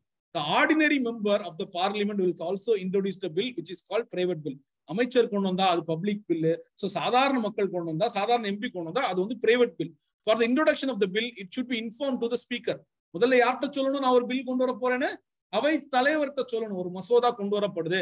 Of the Lok Sabha or the chair Rajya Sabha வந்தா சேர்மன் வைஸ் பிரசிடென்ட சொல்லணும். எப்போ சொல்லணும்? ஒரு மாசத்துக்கு முன்னாடியே சொல்லணும். உடனே இல்ல நாளைக்கு நான் பில்லு கொண்டு வரேன் அப்படின்லாம் சொல்ல முடியாது. ஒரு மாசத்துக்கு முன்னாடி அட்வான்ஸா சொல்லணும். Then the date of introduction for the private member so ஒரு பிரைவேட் மெம்பர் பில் கொண்டு வரணும் அப்படின்னா ஸோ இது வந்து இந்த இந்த பில்லுக்கு இல்ல பப்ளிக் மெம்பர் பில்லுக்கு இல்ல பிரைவேட் மெம்பர் ஒரு தனி நம்பர் ஒரு பில் கொண்டு வரணும் ஒரு மாசத்துக்கு முன்னாடியே சொல்லணும். ஸோ தென் த டேட்டா இந்த என்னைக்கு இன்ட்ரோடக்ஷன் பண்ணணும் அப்படின்றத ஃபிக்ஸ் பண்ணிக்குவாங்க. ஸோ அதை வந்து அந்த பில்ல வந்து ஃப்ளோர்ல வந்து கொண்டு வருவாங்க. ஹவுஸ்ல வந்து கொண்டு வருவாங்க. Generally there will be no discussion அந்த proposal bill at the reading stage which is a formal affair முதல்ல வந்த உடனே ரீடிங் ஸ்டேஜ்ல டிஸ்கஷன்லாம் பண்ண மாட்டாங்க. ஜஸ்ட் அதை போட்டு போடுவாங்க. அதை வந்து கொண்டு வருவாங்க. பில்ல வந்து இன்ட்ரோடியூஸ் பண்றாங்க. அந்த டைம்ல டிஸ்கஷன்லாம் நடக்காது. ரெண்டாவது after the introduction of the bill பில்ல இன்ட்ரோடியூஸ் பண்ணோம்னா அது எங்கன்னா இந்தியாவோட கெசட்ல வந்து பப்ளிஷ் பண்ணுவாங்க. After the introduction of the bill it will publish in the gazette first ஸ்டேஜ்ல introduction of the bill reading of the bill நடக்கும் ஸோ அடுத்து செகண்ட் ஸ்டேஜ்ல it will be published in the gazette of India the speaker of the chairman may allow some bill to publish in the gazette even before the first reading so யார் allow பண்ணுவா அப்படின்னா ஸ்பீக்கரோ சேர்மனோ தான் allow பண்ணுவாரு கெசட்ல வந்து கொண்டு வரணும் in that case no motion for leave to introduce the bill is necessary so அதை வந்து பப்ளிக் இது யார் இது பண்ணுவா ஸ்பீக்கர் வந்து என்ன சொல்லுவார் அப்படின்னா ஸோ இது வந்து இது வந்து ஃபர்ஸ்ட் ரீடிங் போறதுக்கு முன்னாடியே கெசட்ல வந்து அப்ரூவ் பண்றதுக்கு சொல்லுவார். நோ மோஷன் இதுல வந்து எந்த தீர்மானங்களும் நிறைவேற்றப்பட வேண்டிய தேவையில்லை. ஏன்னா இது வந்து கெசட்ல வந்து இன்ட்ரோடியூஸ் பண்ணப்பட்டுச்சு. அடுத்தது ஃபர்ஸ்ட் ரீடிங் அப்புறம் செகண்ட் ரீடிங் நடக்கும்.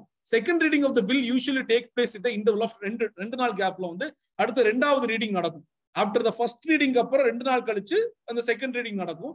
At this stage any of the four courses can be adopted second reading நடக்கும்போது the mill the bill may be taken for consideration of the house at once so அவங்க விவாதம் செய்வாங்க. அதை எடுத்துக்குவாங்க. It may be sent to அடுத்து என்ன பண்ணுவாங்க அப்படின்னா ஒன்னு அவங்க கன்சிடர் பண்ணிக்குவாங்க. இல்லைன்னா செலக்ட் கமிட்டின்னு ஒரு கமிட்டி இருக்கும். ரெண்டு ஹவுஸ்லயுமே லோக்சபா ராஜ்யசபா ரெண்டு ஹவுஸ்ல இருக்கக்கூடிய கொஞ்சம் மெம்பர்ஸ் சேர்த்து ஒரு கமிட்டி இவங்க செலக்ட் கமிட்டி ரெக்கமெண்ட் பண்ணும் இது கரெக்டா கரெக்ட் இல்லையான்றது. Select committee கொஞ்சிடுவாங்க it may be sent to select கமிட்டின்றது லோக்சபால லோக்சபாக்குள்ள கமிட்டிக்கு அனுப்பிச்சுடலாம் இல்லைன்னா ராஜ்யசபால ராஜ்யசபாக்குள்ள கமிட்டியில் அனுப்பிச்சுடலாம் ரெண்டுக்கும் சேர்ந்து ஒரு கமிட்டி வச்சிருப்பாங்க. அதை வந்து ஜாயிண்ட் செலக்ட் கமிட்டி அனுப்பிச்சு சொல்லுவாங்க. எங்க அனுப்பிச்சுடலாம்? முதல்ல வந்து பாத்தீங்கன்னா அந்த பில்ல அவங்க ஓகே அப்படின்னு சொல்லுவாங்க. கன்சிடரேஷன் பண்ணிவாங்க இல்லைன்னா செலக்ட் கமிட்டிக்கு அனுப்பிச்சுடுவாங்க. இல்லைன்னா joint select committee of the two houses அனுப்பிச்சுடுவாங்க.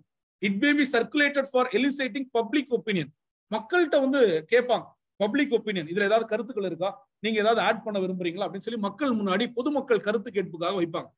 Very rarely bills are taken up for consideration straight away சில நேரத்துல தான் டைரக்டா கன்சிடர் பண்ணி அதை எடுத்துவாங்க பட் ஆனா இந்த கவர்மெண்ட் வந்து பாத்தீங்கன்னா நிறைய பில்ஸ் வந்து டிஸ்கஷனே இல்லாம டெபேட் இல்லாம அப்படியே கொண்டு வராங்க. காரணம் என்னன்னா அவங்களுக்கு மெஜாரிட்டி இருக்குன்ற ஒரே காரணத்துக்காக வேண்டி. வெண்டு அதனாலதான் சொல்றோம் ஒரு நல்ல டெமோக்ரஸி அப்படின்னா ஒரு ஸ்ட்ராங் அப்போசிஷன்ங்கிறது கட்டாயமா இருக்கும் when the bill is adopted for circulation circulation வந்ததுக்கு அப்புறம் the secretary of the house concern request the state government to publish the bill இந்த ஸ்டேட் கசட் ஸோ பில் வந்து சர்க்குலேஷன்ல வந்ததுக்கு அப்புறம் செக்ரட்டரியேட் இருப்பார் சென்ட்ரல் செக்ரட்டரியேட் அவர் என்ன சொல்லுவார் அப்படின்னா இங்க வந்து எல்லா ஸ்டேட்ஸ்லயுமே உங்க கெசட்ஸ்ல போடுங்க அப்படின்னு சொல்லி சொல்லுவார். Inviting opinion from local bodies and recognise association உங்ககிட்ட இருந்து கருத்து கேட்கிறோம். இப்போ மக்கள் இத புதிய கல்வி கொள்கை எல்லாம் வருதுன்னா கருத்து கேட்கிறாங்க அப்படின்னு சொல்லி இந்த லாஸ்ட் டேட்டுக்குள்ளாடி உங்களோட கருத்துக்களை சொல்லுங்க. Association such opinions are circulated among member of the house so இதை எல்லா டைமே சொல்லுவாங்க. ஃபர்ஸ்ட் ரீடிங் அடுத்து செகண்ட் ரீடிங் அடுத்து கமிட்டி ஸ்டேஜ்க்கு போவாங்க அடுத்து ரிப்போர்ட் ஸ்டேஜ் போவாங்க அடுத்து தேர்ட் ரீடிங் போவாங்க. ஸோ கமிட்டி ஸ்டேஜ் கமிட்டி ஸ்டேஜ்னா செலக்ட் கமிட்டிக்கு போனதுக்கு அப்புறம் இந்த bill is refer to select committee the mover selects the member of the committee so அந்த யார் மெம்பர் அப்படின்ற செலக்ட் கமிட்டில கொடுப்பாங்க. ஸ்பீக்கர் வந்து பாத்தீங்கன்னா one member of the committee as the chairman of the committee ஒருத்தரை வந்து ஒரு கமிட்டி ஸ்டேஜ்ல என்ன நடக்கும்னா இது கரெக்டா இருக்குமாப்பா இந்த பில் வந்துச்சுன்னா.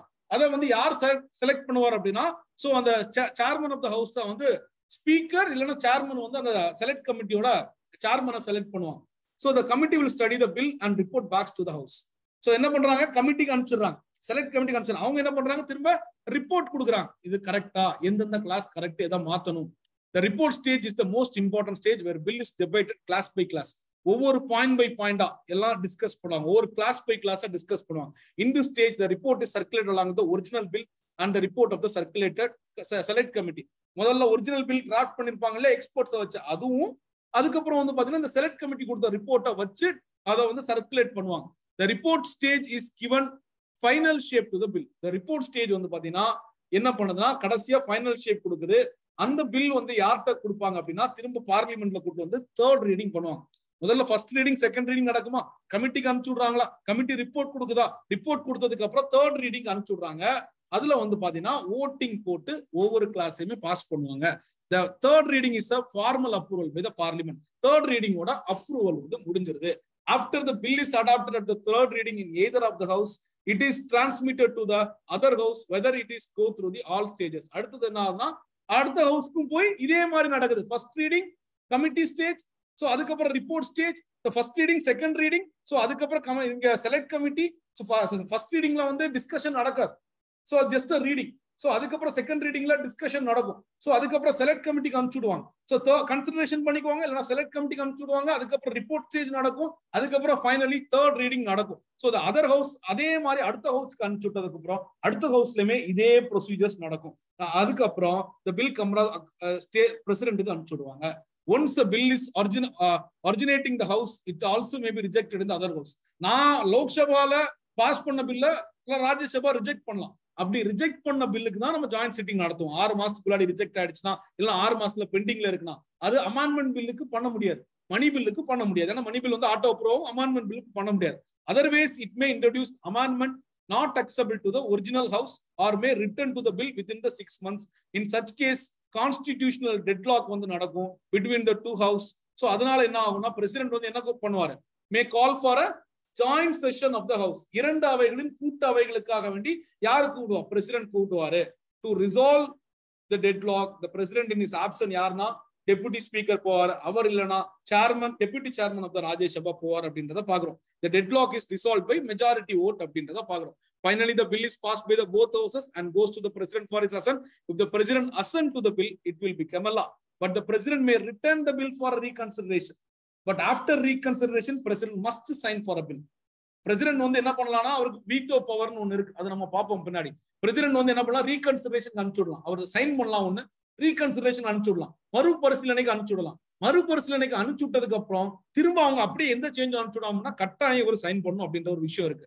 If the bill is sent back to the president with or without amendment president சொன்ன கன்சிடரேஷன் பண்ணியோ பண்ணாமல் அனுப்பிச்சுட்டா the president cannot withhold his assent அவர் கட்டாயம் சைன் பண்ணி ஆகணும். Such a complicated time consuming procedure is adopted to prevent hasty legislation time ஒரு complicated and time consuming procedure is adopted to prevent hasty legislation அவசரமா பண்ண முடியாத அளவுக்கு ஒரு procedure வச்சிருக்காங்க.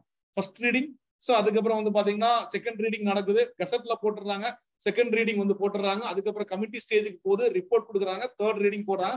The similar stage is followed in both the houses so அதுக்கப்புறம் இந்த லா ரெண்டு ஹவுஸ்லயுமே பாஸ் ஆனதுக்கு அப்புறம் பிரசிடென்ட் போது பிரசிடென்ட் ரீகன்சிடரேஷன் அனுப்பலாம்.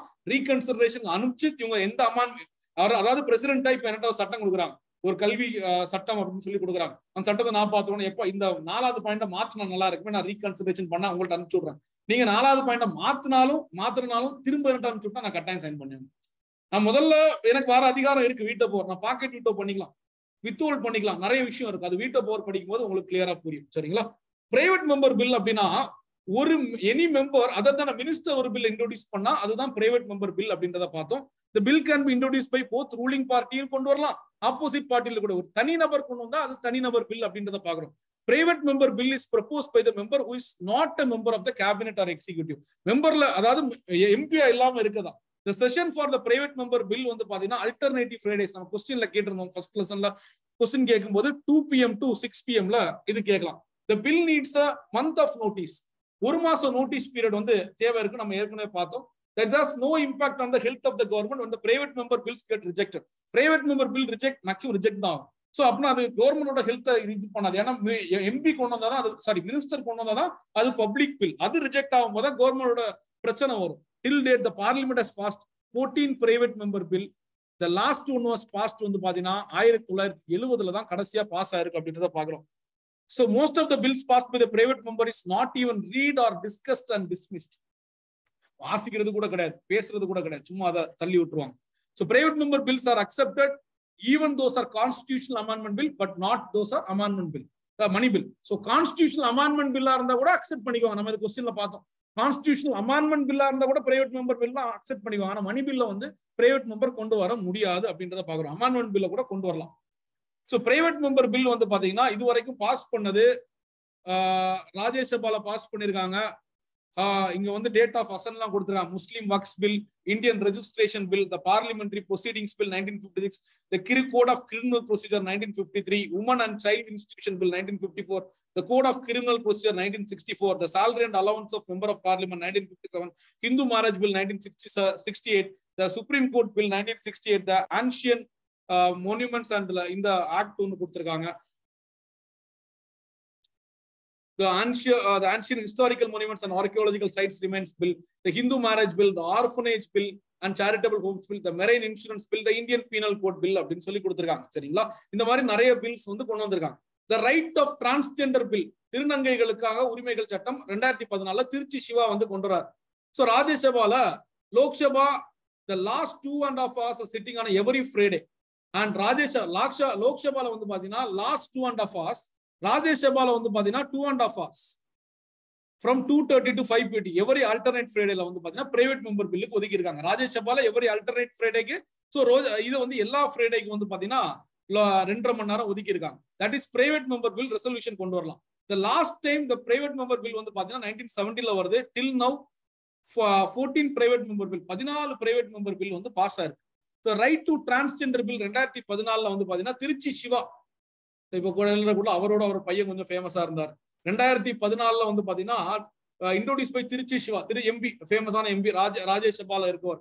ஸோ டிரான்ஸ்ஜெண்டர் பீப்புளால ஃபேஸ் பண்ணக்கூடிய டிஸ்கிரிமினேஷனுக்கு அகேன்ஸ்டா இருபத்தி நாலு ஏப்ரல்ல ஒரு சட்டம் கொண்டு வர்றாரு ரெண்டாயிரத்தி பதினஞ்சுல. அவர் இன்ட்ரோடியூஸ் பண்றாரு. ஸோ இந்த பில் வந்து லோக்சபால ராஜ்யசபால பாஸும் ஆயிடுச்சு. புரியுதா? லோக்சபால வந்து பாத்தீங்கன்னா கொண்டு போறாங்க இருபத்தி ஆறு ரெண்டாயிரத்தி பதினாறுல. பட் அந்த பில்ல வந்து பாத்தீங்கன்னா அது ஸ்டாப் பண்ணி வச்சிடறாங்க. அதுக்கப்புறம் வேற ஆக்ட் கொண்டு வராங்க. டிரான்ஸ்ஜெண்டருக்கு ஆக்ட் கொண்டு வராங்க. அது லோக்சபா பாஸ் பண்ணி கொண்டு வராங்க. சரிங்களா? The bill is considers historic for being the private member bill passed in by any house in thirty six years and by Rajya Sabha in forty five years so முப்பத்தாறு வருஷம் கழிச்சு ஒரு ஹவுஸ் ரெண்டு ஹவுஸ்லயுமே பாஸ் ஆகல. நல்லா புரிஞ்சுக்கோங்க. லோக்சபா கொண்டு போ ராஜ்யசபா கொண்டு போறாங்க. லோக்சபால பாஸ் ஆகுது ஸோ முப்பத்தாறு வருஷம் கழிச்சு ஒரு ஹவுஸ்ல பாஸ் ஆயிருக்கு அதாவது ராஜ்யசபால நாற்பத்தஞ்சு வருஷம் கழிச்சு பாஸ் ஆயிருக்கு. This is called as private bill அப்படின்றத பார்க்கணும் சரிங்களா? ஸோ இதை ஒரு வாட்டி நீங்க ரீட் பண்ணிக்கோங்க. ஸோ அடுத்த செஷன்ல நான் வந்து இந்த distribution of powers of legislature so இதை வந்து நான் உங்களுக்கு அடுத்த செஷன்ல நான் அடுத்து நம்ம அடுத்த செஷன்ல வந்து செகண்ட் லெசன் வந்து கம்ப்ளீட்டா முடிச்சிடலாங்க சரிங்களா? அமான்மெண்டோட ப்ரொசீஜர் இருக்கு. எப்படி அமான்மெண்ட் பண்ணணும் அப்படின்றத ஸ்டேட் லெஜிஸ்லேச்சரோட ஃபங்க்ஷன்ஸ் இருக்கு.